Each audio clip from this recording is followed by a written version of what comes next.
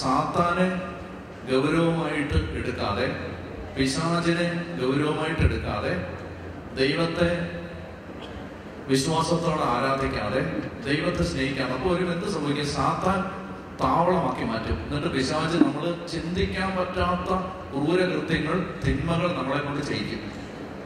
അതുകൊണ്ടാണ് അച്ഛൻ പറയുന്നത് നന്നായിട്ട് ശ്രദ്ധിക്കണം. അതുകൊണ്ട് ഈ ഈ ഭാഗത്ത് ഏറ്റവും ലെഫ്റ്റ് സൈഡിൽ ഇരിക്കുന്ന ആ പുറകിലിരിക്കുന്ന സഹോദരന്മാര് മക്കളെ അച്ഛൻ പറയുന്നത് കേട്ടെ? അതായത് നിങ്ങളെ പിശാജ് ലക്ഷ്യം വെച്ചിട്ടിട്ടുണ്ട് മോനെ. മോൻ ശ്രദ്ധിച്ചോണം കേട്ടോ അതുകൊണ്ട്. ഞാൻ ഉദ്ദേശിക്കുന്ന മോനെ എനിക്കും അറിയാം മോനും അറിയാം. മോനെ നീ സൂക്ഷിക്കണം. നീ വളരെ സൂക്ഷിക്കണം. അപ്പൊ ആ ഭാഗത്തേക്ക് എന്റെ സഹോദരന്മാരെല്ലാം നന്നായിട്ട് അച്ഛനെന്ന് ശ്രദ്ധിച്ചേ. മക്കളെ സൂക്ഷിക്കണം മക്കളെ. അതായത് എന്താ പറയുക? എല്ലാവരും ഇരുന്നേ. അച്ഛൻ കാര്യം പറഞ്ഞുതരാം സന്തോഷമായിട്ട് ഇരുന്നേ. അതായത് നമ്മുടെ ജീവിതത്തിൽ ഇത് ഒരുപക്ഷെ അവസാനത്തെ അവസരമാവാം. ഇനി നമുക്കൊരു ചാൻസ് കിട്ടിയില്ല എന്ന് വരും. ഇനി നമുക്കൊരു ചാൻസ് കിട്ടിയില്ലെന്ന് വരും. നമ്മുടെ ബഹുമാനപ്പെട്ട നായ്ക്കമ്പറമ്പിൽ അച്ഛൻ നായ്ക്കമ്പറമ്പിൽ അച്ഛൻ ഈ മധ്യ തിരുവിതാംകൂറിലെ ഒരു മൂവായിരത്തോളം ഇടവക്കാരുള്ള ഒരു ഇടവകയിൽ ധ്യാനിപ്പിക്കുകയായിരുന്നു. ആ സമയത്ത് നിങ്ങളിത് കേൾക്കണം. കേരളത്തിൽ നടന്നൊരു സംഭവം ഞാൻ പറയാം. മൂവായിരത്തോളം ഇടവക്കാരുള്ള ഇടവകയിൽ നായ്ക്കമ്പറമ്പിൽ അച്ഛൻ ധ്യാനിപ്പിച്ചുകൊണ്ടിരിക്കുകയാണ്. അങ്ങനെ ധ്യാനിപ്പിച്ചുകൊണ്ടിരിക്കുന്ന സമയത്ത് അച്ഛൻ ശ്രദ്ധിച്ചു പള്ളിയുടെ തൊട്ട് മുമ്പിലുള്ള ഒരു വീട്ടിൽ നിന്ന് ആരും തന്നെ ധ്യാനത്തിന് എത്തിയിട്ടില്ല അപ്പൊ അച്ഛന് കാണാം പള്ളിയുടെ മുറ്റത്ത് നിന്ന് ഈ വീട് കാണാം വണ്ടികൾ വരുന്നു പോകുന്നു. രണ്ട് ചെറുപ്പക്കാരുണ്ട് ആ വീട്ടിൽ. അവരിങ്ങനെ വണ്ടികളിൽ കൂട്ടുകാർ വരുന്നു പോകുന്നു അവരിങ്ങനെ പാട്ടൊക്കെ ഇട്ടിരിക്കുന്നു. അപ്പൊ വിചാരിച്ചോട് ചോദിച്ചു വിചാരിച്ച ഈ ഈ ഇവർ നമ്മുടെ ധ്യാനത്തോട് എതിരുള്ള ആളുകളാണോ? അപ്പൊ പറഞ്ഞ അച്ഛാ നമ്മുടെ പള്ളിക്കാര് തന്നെയാണ് ധ്യാനത്തോട് അവർക്ക് എതിരുണ്ടോ എന്ന് എനിക്കറിയില്ല. എന്നോട് ഭയങ്കര വൈരാഗ്യമാണ് പറഞ്ഞു എന്താ കാര്യം? ചോദിച്ചപ്പോ ഇങ്ങനെ മറുപടി പറഞ്ഞു. അതായത് അച്ഛാ വികാരിച്ചനോട് പണങ്ങിയിട്ട് അവർ രണ്ടര ട്രക്കായിട്ട് പള്ളി വന്നിട്ടില്ല. അപ്പൊ അച്ഛൻ എന്തെങ്കിലും അറിയാമോ അച്ഛൻ ഒരാളെ അച്ഛന്റെ ടീമിലുള്ള ഒരു ശുശ്രൂഷകരെ ആ വീട്ടിലേക്ക് വിട്ടു. വിട്ടിട്ട് പറഞ്ഞു നിങ്ങൾ വികാരിച്ചനോട് പണങ്ങിയിരിക്കുന്ന അതൊക്കെ എനിക്ക് മനസ്സിലാവും. നിങ്ങൾ സാരമില്ല. നിങ്ങൾ ധ്യാനത്തിന് വരണം. ഇന്ന് ധ്യാനത്തിന്റെ രണ്ടാം ദിവസമാണ്. നിങ്ങൾ വരണം. വരാന്നൊക്കെ അവർ സമ്മതിച്ചു. പക്ഷേ അപ്പനും മക്കളും കൂടെ ഉച്ച കഴിഞ്ഞപ്പോ അവർ തീരുമാനിച്ചു ഞങ്ങൾ പള്ളിയിലേക്ക് പോയാൽ ഈ അച്ഛൻ പറയുന്നത് കേട്ടിട്ട് ഞങ്ങൾ പള്ളിയിലേക്ക് പോയാൽ ഞങ്ങൾ തോറ്റു കൊടുക്കുന്നതിന് തുല്യമാണ്. ഈ അച്ഛനെ അനുസരിക്കുന്നത് ഞങ്ങൾ തോറ്റു കൊടുക്കുന്നതിന് തുല്യമാണ്. ഇപ്പൊ ഞാൻ എന്തെങ്കിലും പറയുമ്പോൾ ഒരു ചെറുപ്പക്കാരൻ വിചാരിക്കുകയാണ് ഈ അച്ഛൻ പറയുന്നത് കേൾക്കുന്നത് ഞാൻ ഞാൻ തോറ്റു കൊടുക്കുന്നതിന് തുല്യമാണ്. അങ്ങനെ ചിന്തിച്ചാൽ അങ്ങനെ ഇരിക്കും. ഇതിനകത്ത് ജയവും തോൽവിയൊന്നും ഇല്ലല്ലോ. അപ്പൊ അങ്ങനെ അച്ഛൻ ചെന്നിട്ട് അച്ഛന്റെ ശുശ്രൂഷൻ ചെന്നിട്ട് പറഞ്ഞ് വരണം. അവർ വരാമെന്ന് സംബന്ധിച്ചു പക്ഷെ ഉച്ച കഴിഞ്ഞപ്പോ എന്ത് ചെയ്യുന്നറിയാമോ ഉച്ച കഴിഞ്ഞപ്പോഴേക്കും അവർ നേരെ തീരുമാനം മാറ്റിയിട്ട് അവരുടെ മകളെ കെട്ടിച്ചു വിട്ട വീട്ടിലേക്ക് ഒരു വണ്ടി എടുത്തങ്ങ് പോയി. എന്നിട്ട് രാത്രി ധ്യാനം കഴിഞ്ഞ് തിരിച്ചെത്തി. പിറ്റേ ദിവസം ധ്യാനത്തിന്റെ മൂന്നാം ദിവസവും മകളെ കെട്ടിച്ചു വിട്ട വീട്ടിലേക്ക് പോയി. രാത്രി തിരിച്ചെത്തി. അഞ്ചു ദിവസം അങ്ങനെ ചെയ്തു.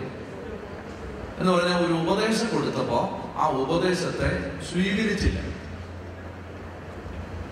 എന്നിട്ട് അച്ഛൻ അവിടുന്ന് ധ്യാനമൊക്കെ കഴിഞ്ഞ് ചില മാനസികമായിട്ട് വേദനയൊക്കെ വന്നിട്ടുണ്ടാവും. അച്ഛൻ തിരിച്ചുപോയി. ഒരു മൂന്നാൽ മാസം കഴിഞ്ഞിട്ട് ഞാൻ പേര് സഹിതം പറയുന്നത് ഞാനിത് ഉണ്ടാക്കിയ കഥയല്ലെന്ന് നിങ്ങൾക്ക് മനസ്സിലാൻ വേണ്ടിയിട്ടാണ്. ഞാൻ പേര് അടയാള സഹിതം പറയുന്നത്. അപ്പോ അച്ഛൻ തിരിച്ചു പോയിട്ടൊരു നാല് മാസം കഴിഞ്ഞിട്ട് അച്ഛനൊരു വിദേശ ധ്യാനം കഴിഞ്ഞ് മടങ്ങിയെത്തി പത്രം വായിക്കുമ്പോൾ ഒരു വാർത്ത കേൾക്കുകയാണ്. രണ്ട് ആൺമക്കൾ ചേർന്ന് ഒരപ്പനെ വെട്ടിക്കൊന്നു. അപ്പൊ അച്ഛൻ ഇത് പത്രം വായിക്കുമ്പോൾ അച്ഛൻ ധ്യാനം നടത്തിയ സ്ഥലത്താണ്. ക്രിസ്ത്യാനികളുടെ പേരാണ്. വേഗം വികാരിച്ചിനെ വിളിച്ചു. അച്ഛാ നമ്മുടെ ഇടവകയിൽപ്പെട്ട വല്ലവരും ആണോ? അപ്പൊ വികാരിച്ച വേദനയോടെ പറഞ്ഞു അച്ഛാ അച്ഛൻ ധ്യാനത്തിന് പോയി വിളിച്ചില്ലേ? ആ വീട്ടിലാന്ന് പറഞ്ഞു. ആ മക്കൾ രണ്ടും ചേർന്ന് അപ്പനെ വെട്ടിക്കൊന്നു. ഇനി നിങ്ങളിത് ശ്രദ്ധിക്കാമോ? നിങ്ങൾ വിചാരിക്കരുത് നായ്ക്കമ്പറമ്പലച്ചൻ പറഞ്ഞത് കേൾക്കാത്തത് കൊണ്ട് മക്കൾ ആൺമക്കൾ അപ്പനെ വെട്ടിക്കൊന്നാണ് അതല്ല അതിന്റെ കാര്യം. പിശാജ് ഈ കുടുംബത്തെ എങ്ങനെയെങ്കിലും നശിപ്പിക്കാൻ വേണ്ടി ആദ്യം ചെയ്തത് അവരെ കുംഭസാരത്തെ നകറ്റി കുർബാനെ നകറ്റി പള്ളിയെ നകറ്റി. ഒരു വ്യക്തിയെ നശിപ്പിക്കാൻ സാത്താൻ ശ്രമിക്കുമ്പോൾ ആദ്യം ചെയ്യുന്നത് അവനെ ദൈവകാര്യങ്ങളിൽ താല്പര്യമില്ലാത്തവനാക്കും. ഞാൻ അതിനെക്കുറിച്ച് കുറച്ച് കഴിയുമ്പോൾ പറഞ്ഞുതരാം. ഉദാഹരണ സഹിതം ഞാൻ പറഞ്ഞുതരാം. വിശുദ്ധ കുർബാനയെ നകറ്റും കുംഭസാരത്തെ നകറ്റും സഭയെ നകറ്റും അച്ഛനെ നകറ്റും പള്ളി നകറ്റും. ആദ്യത്തെ സ്റ്റെപ്പ് അതാണ്. അപ്പോൾ പള്ളി പോകാൻ താല്പര്യമില്ല പ്രാർത്ഥിക്കാൻ താല്പര്യമില്ല കുമ്പസാരിക്കാൻ താല്പര്യമില്ല സഭയോട് താല്പര്യമില്ല ഈ ഒരു അവസ്ഥയിലെത്തും. രണ്ടാമത്തെ സ്റ്റെപ്പ് എന്തെന്നറിയാമോ? രണ്ടാമത്തെ സ്റ്റെപ്പ് ആ വീട്ടിൽ കലഹം ഉണ്ടാക്കും ദുരിതം ഉണ്ടാക്കും. നിങ്ങളത് ആലോചിച്ച് നോക്കിക്കേ അതായത് ദൈവത്തെ നകന്നു കഴിയുന്ന ഏതെങ്കിലും വീട്ടിൽ ഇപ്പൊ ഈ ധ്യാനത്തിൽ ശ്രദ്ധിക്കാത്ത സഹോദരന്മാര് സ്വന്തം വീട്ടിലെ അവസ്ഥ നോക്കി. സ്വന്തം വീട്ടിൽ എന്റെ പൊന്നു മോനെ എന്താ നിന്റെ വീട്ടിലെ അവസ്ഥ? നിന്റെ വീട് എന്താ മോനെ നന്നാവാത്ത? എന്താ മോനെ നിന്റെ കുടുംബത്തിൽ ഇപ്പോഴീ പരാധീനത? നീ എന്താ രക്ഷപ്പെടാത്ത? അതിന് കാരണം അതായത് ദൈവത്തിൽ നിന്ന് അങ്ങ് അകറ്റിക്കളയും ദൈവത്തിൽ നിന്ന് അകറ്റിയിട്ട് എല്ലാം കളിതമാശയാക്കും എല്ലാത്തിനെയും നിസാരാക്കി കളയും. അപ്പൊ എന്തെന്നറിയാം? ഈ കുടുംബത്തിൽ ഈ ചെറുപ്പക്കാർക്ക് പള്ളി ധ്യാനമാണ്. ധ്യാനം പ്രധാനപ്പെട്ടതാണ്. അവർക്ക് അങ്ങനെ ചിന്ത വന്നോ? വന്നില്ല. അവർ വിചാരിച്ച ഈ കളി ഈ തമാശ ടൂറ് പോകുന്നത് അതൊക്കെയാണ് പ്രധാനം. അവരുടെ തലയ്ക്കകത്ത് അങ്ങനെ ഒരു സാധനം കയറിയിരിക്കുകയാണ്. അപ്പൊ അങ്ങനെ കയറിയിട്ട് അവർ പള്ളിയിൽ പോകാതായി പ്രാർത്ഥിക്കാതായി ദൈവത്തെ വിളിക്കാതായി ദൈവത്തെ സ്നേഹിക്കാതായി സഭയിൽ താല്പര്യമില്ലാതായി അച്ഛന്മാരോട് താല്പര്യമില്ലാതായി. പിന്നെ ആരെന്ത് പറഞ്ഞാലും അവരോട് പരിഹാസം അങ്ങനായി. എന്താ പറ്റിയെന്നറിയാമോ? പിശാജ് നല്ല ഒരു കണി ഒരുക്കി. അപ്പനും മക്കളും ഒരുമിച്ച് മദ്യപിക്കുന്ന വീടാണ്. അങ്ങനെ വീട്ടിൽ കലഹം ഉണ്ടാവുന്നത് സ്വാഭാവികമാണ്. അപ്പനും മക്കളും ഒരുമിച്ച ഒരു സന്ധ്യയിൽ ഒരുമിച്ച് മദ്യപിച്ച ഒരു സന്ധ്യയിൽ അപ്പനും മക്കളും കലഹം ഉണ്ടായി. മക്കൾ വാശിയിലും വൈരാഗ്യത്തിലും അപ്പനെ വെട്ടിക്കൊല്ലുന്ന ഒരു മാസ്റ്റർ പ്ലാൻ പിശാജ് തയ്യാറാക്കി. എന്നെ ശ്രദ്ധിച്ചു കേട്ടോ. ഒരു മാസ്റ്റർ പ്ലാൻ തയ്യാറാക്കി. മക്കൾ അപ്പനെ വെട്ടിക്കൊല്ലുന്ന ഒരു പ്ലാൻ ഒരു സ്ക്രിപ്റ്റ് തയ്യാറാക്കി. എന്നിട്ട് അത് സംഭവിക്കാൻ പോകുന്നത് ഈ മാസം പത്താം തീയതി ആണെങ്കിൽ പിശാജ് അതിന്റെ കെണി ഒരുക്കി വെച്ചിരിക്കുമ്പോൾ കർത്താവ് എന്ത് ചെയ്യുന്നറിയാമോ അത് ആ വീട്ടിൽ നടക്കാതിരിക്കാൻ ആ കാലഘട്ടത്തിലെ ഏറ്റവും അഭിഷേകമുള്ള അച്ഛനെ അവന്റെ വീട്ടുമുറ്റത്ത് കൊണ്ടുവന്ന് നിർത്തി. എന്നിട്ട് പറഞ്ഞു വരാൻ പറഞ്ഞു. മനസ്സിലാവുന്നുണ്ടോ നിങ്ങൾക്ക്? അതായത് അവന്റെ വീട്ടിൽ ഈ കൊലപാതകം നടക്കാൻ പോവാണ് ഈ കുടുംബം അപ്പനെ വെട്ടിക്കൊന്ന മക്കൾക്ക്. പിന്നെന്ത്? ദൈവാനുഭവം ഉണ്ടാവും പോന്നെ. ദൈവം കരുണ കാണിച്ചില്ലെങ്കിൽ ഈ കുടുംബം നശിക്കില്ലേ? അപ്പോ അങ്ങനൊരു മാസ്റ്റർ പ്ലാൻ ഉണ്ടാക്കിയിട്ട് പിശാജ് ഈ കുടുംബത്തെ തച്ചുടച്ച് തകർത്ത് കളയാൻ പ്ലാൻ ഒരുക്കിയിട്ട് ദൈവം അത് കണ്ട് കണ്ണ് കയ്യും കെട്ടി നിൽക്കാതെ ആ കാലഘട്ടം അതായത് നായ്ക്കമ്പറമ്പിൽ അച്ഛനിലൂടെ കേരള സഭ മുഴുവൻ ഭയങ്കര അത്ഭുതങ്ങളും അടയാളങ്ങളും നടന്നുകൊണ്ടിരുന്ന ഒരു കാലത്താണ്. പതിനായിരക്കണക്കിന് ലക്ഷക്കണക്കിന് ആളുകൾ അച്ഛനെ കാണാൻ തിങ്ങി നിറഞ്ഞ് എത്തിക്കൊണ്ടിരുന്ന ഒരു സമയത്താണ് അച്ഛനാവ ചെന്നിട്ട് ആ ഇടവകയിൽ ചെന്നിട്ട് അവരുടെ വീട്ടുമുറ്റത്ത് എന്നിട്ട് വിളിക്കുന്നത് ധ്യാനത്തിന് വരാവോ? ദൈവത്തിന്റെ പദ്ധതി എന്താണ്? പിശാചൊരു കെണിയൊരുക്കിയിട്ടുണ്ട് മക്കളെ. നിന്നെ നശിപ്പിക്കാൻ പിശാചൊരു കെണിയൊരുക്കിയിട്ടുണ്ട്. അതുകൊണ്ട് എന്റെ പൊന്നുമോനെ എന്റെ പൊന്നുമോളെ നീ വാ. അപ്പൊ അവരെന്ത് ചെയ്യുന്നറിയാം അതിനെ അങ്ങ് പരിഹാസാക്കി. അതിനെ അങ്ങ് തമാശാക്കി. എന്നിട്ട് എന്ത് ചെയ്തു ഈ പരിഹാസം.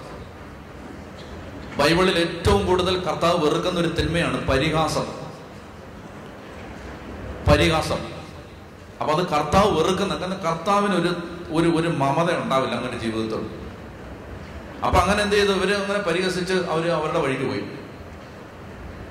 കൃപ കിട്ടാനുള്ള വഴി അവസാനത്തെ വഴി അറിഞ്ഞിരുന്നില്ല. അന്ന് ആ കുടുംബത്തിന് അറിയാമോ? ഈ കുടുംബത്തെ ഈ കുടുംബം രക്ഷപ്പെടാനുള്ള അവസാനത്തെ വഴിയാണ് അറിയാവോ? അറിയില്ല. തീർന്നു.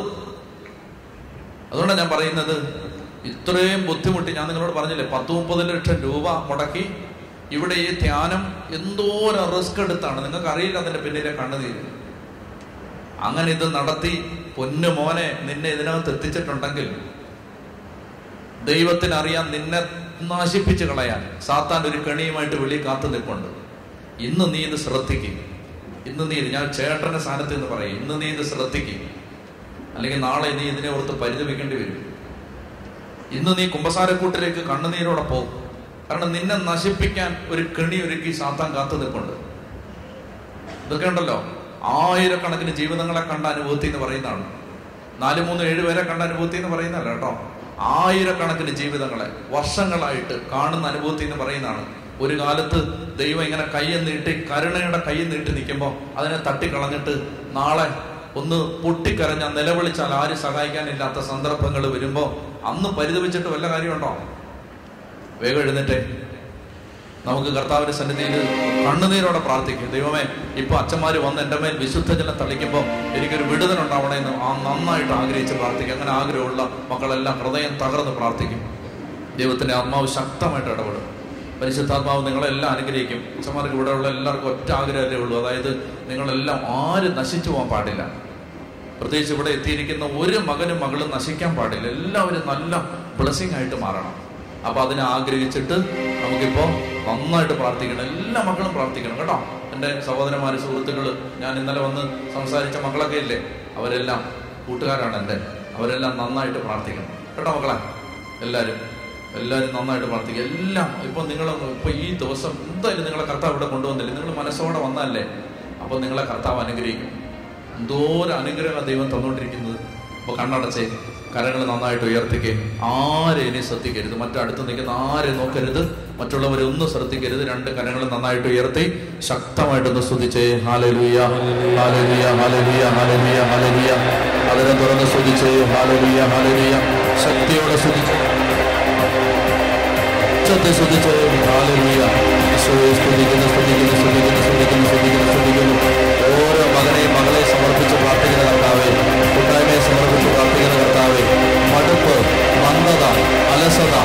ക്ഷീണം ഉദാസീനത താല്പര്യക്കുറവ് എതിർചിന്ത തെറ്റിദ്ധാരണ ദൈവനിഷേധം സഭാവിരോധം വൈദിക വിരോധം അഹങ്കാരം വൈരാഗ്യം വെറുപ്പ് പക പ്രതികാര ചിന്തകൾ ആക്ഷേപം പരിഹാസം. കർത്താവെ ഇവ ഹൃദയത്തിൽ വിതയ്ക്കുന്ന എല്ലാ പൈശാചിക ശക്തികളെയും നസ്രാനായ യേശുവിന്റെ പരിശുദ്ധ നാമത്തിൽ മുട്ടായിട്ട് മുപ്പത്തൊന്നിലേക്ക് ലേവർ പത്തൊമ്പത്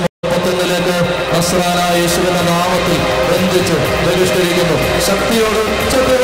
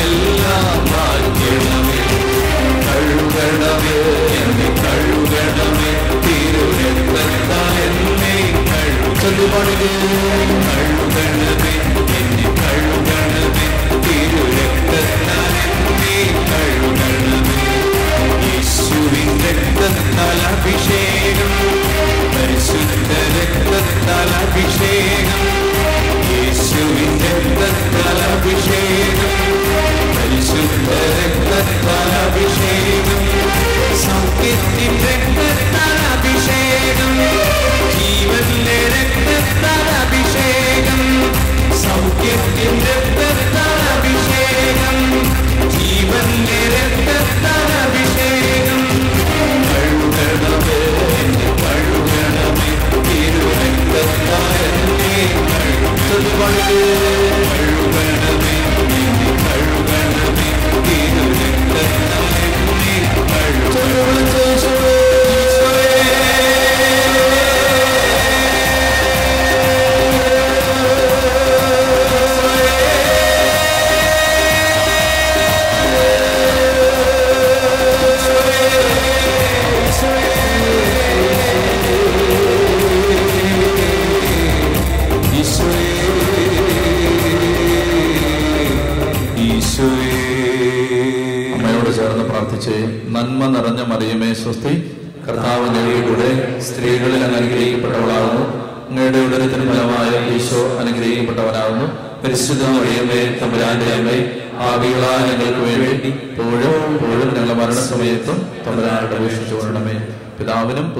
പരിശുദ്ധാത്മാവിന് സ്തുതി. അതിലെ പോലെ ഇപ്പോഴും വേഗം വരുന്നേ നമ്മൾ കുമ്പസാരിച്ചാൽ നമുക്ക് കിട്ടാൻ പോകുന്ന ദൈവാനുഗ്രഹങ്ങൾ എന്തൊക്കെയാണെന്ന് ചിന്തിക്കാൻ പോവുകയാണ്.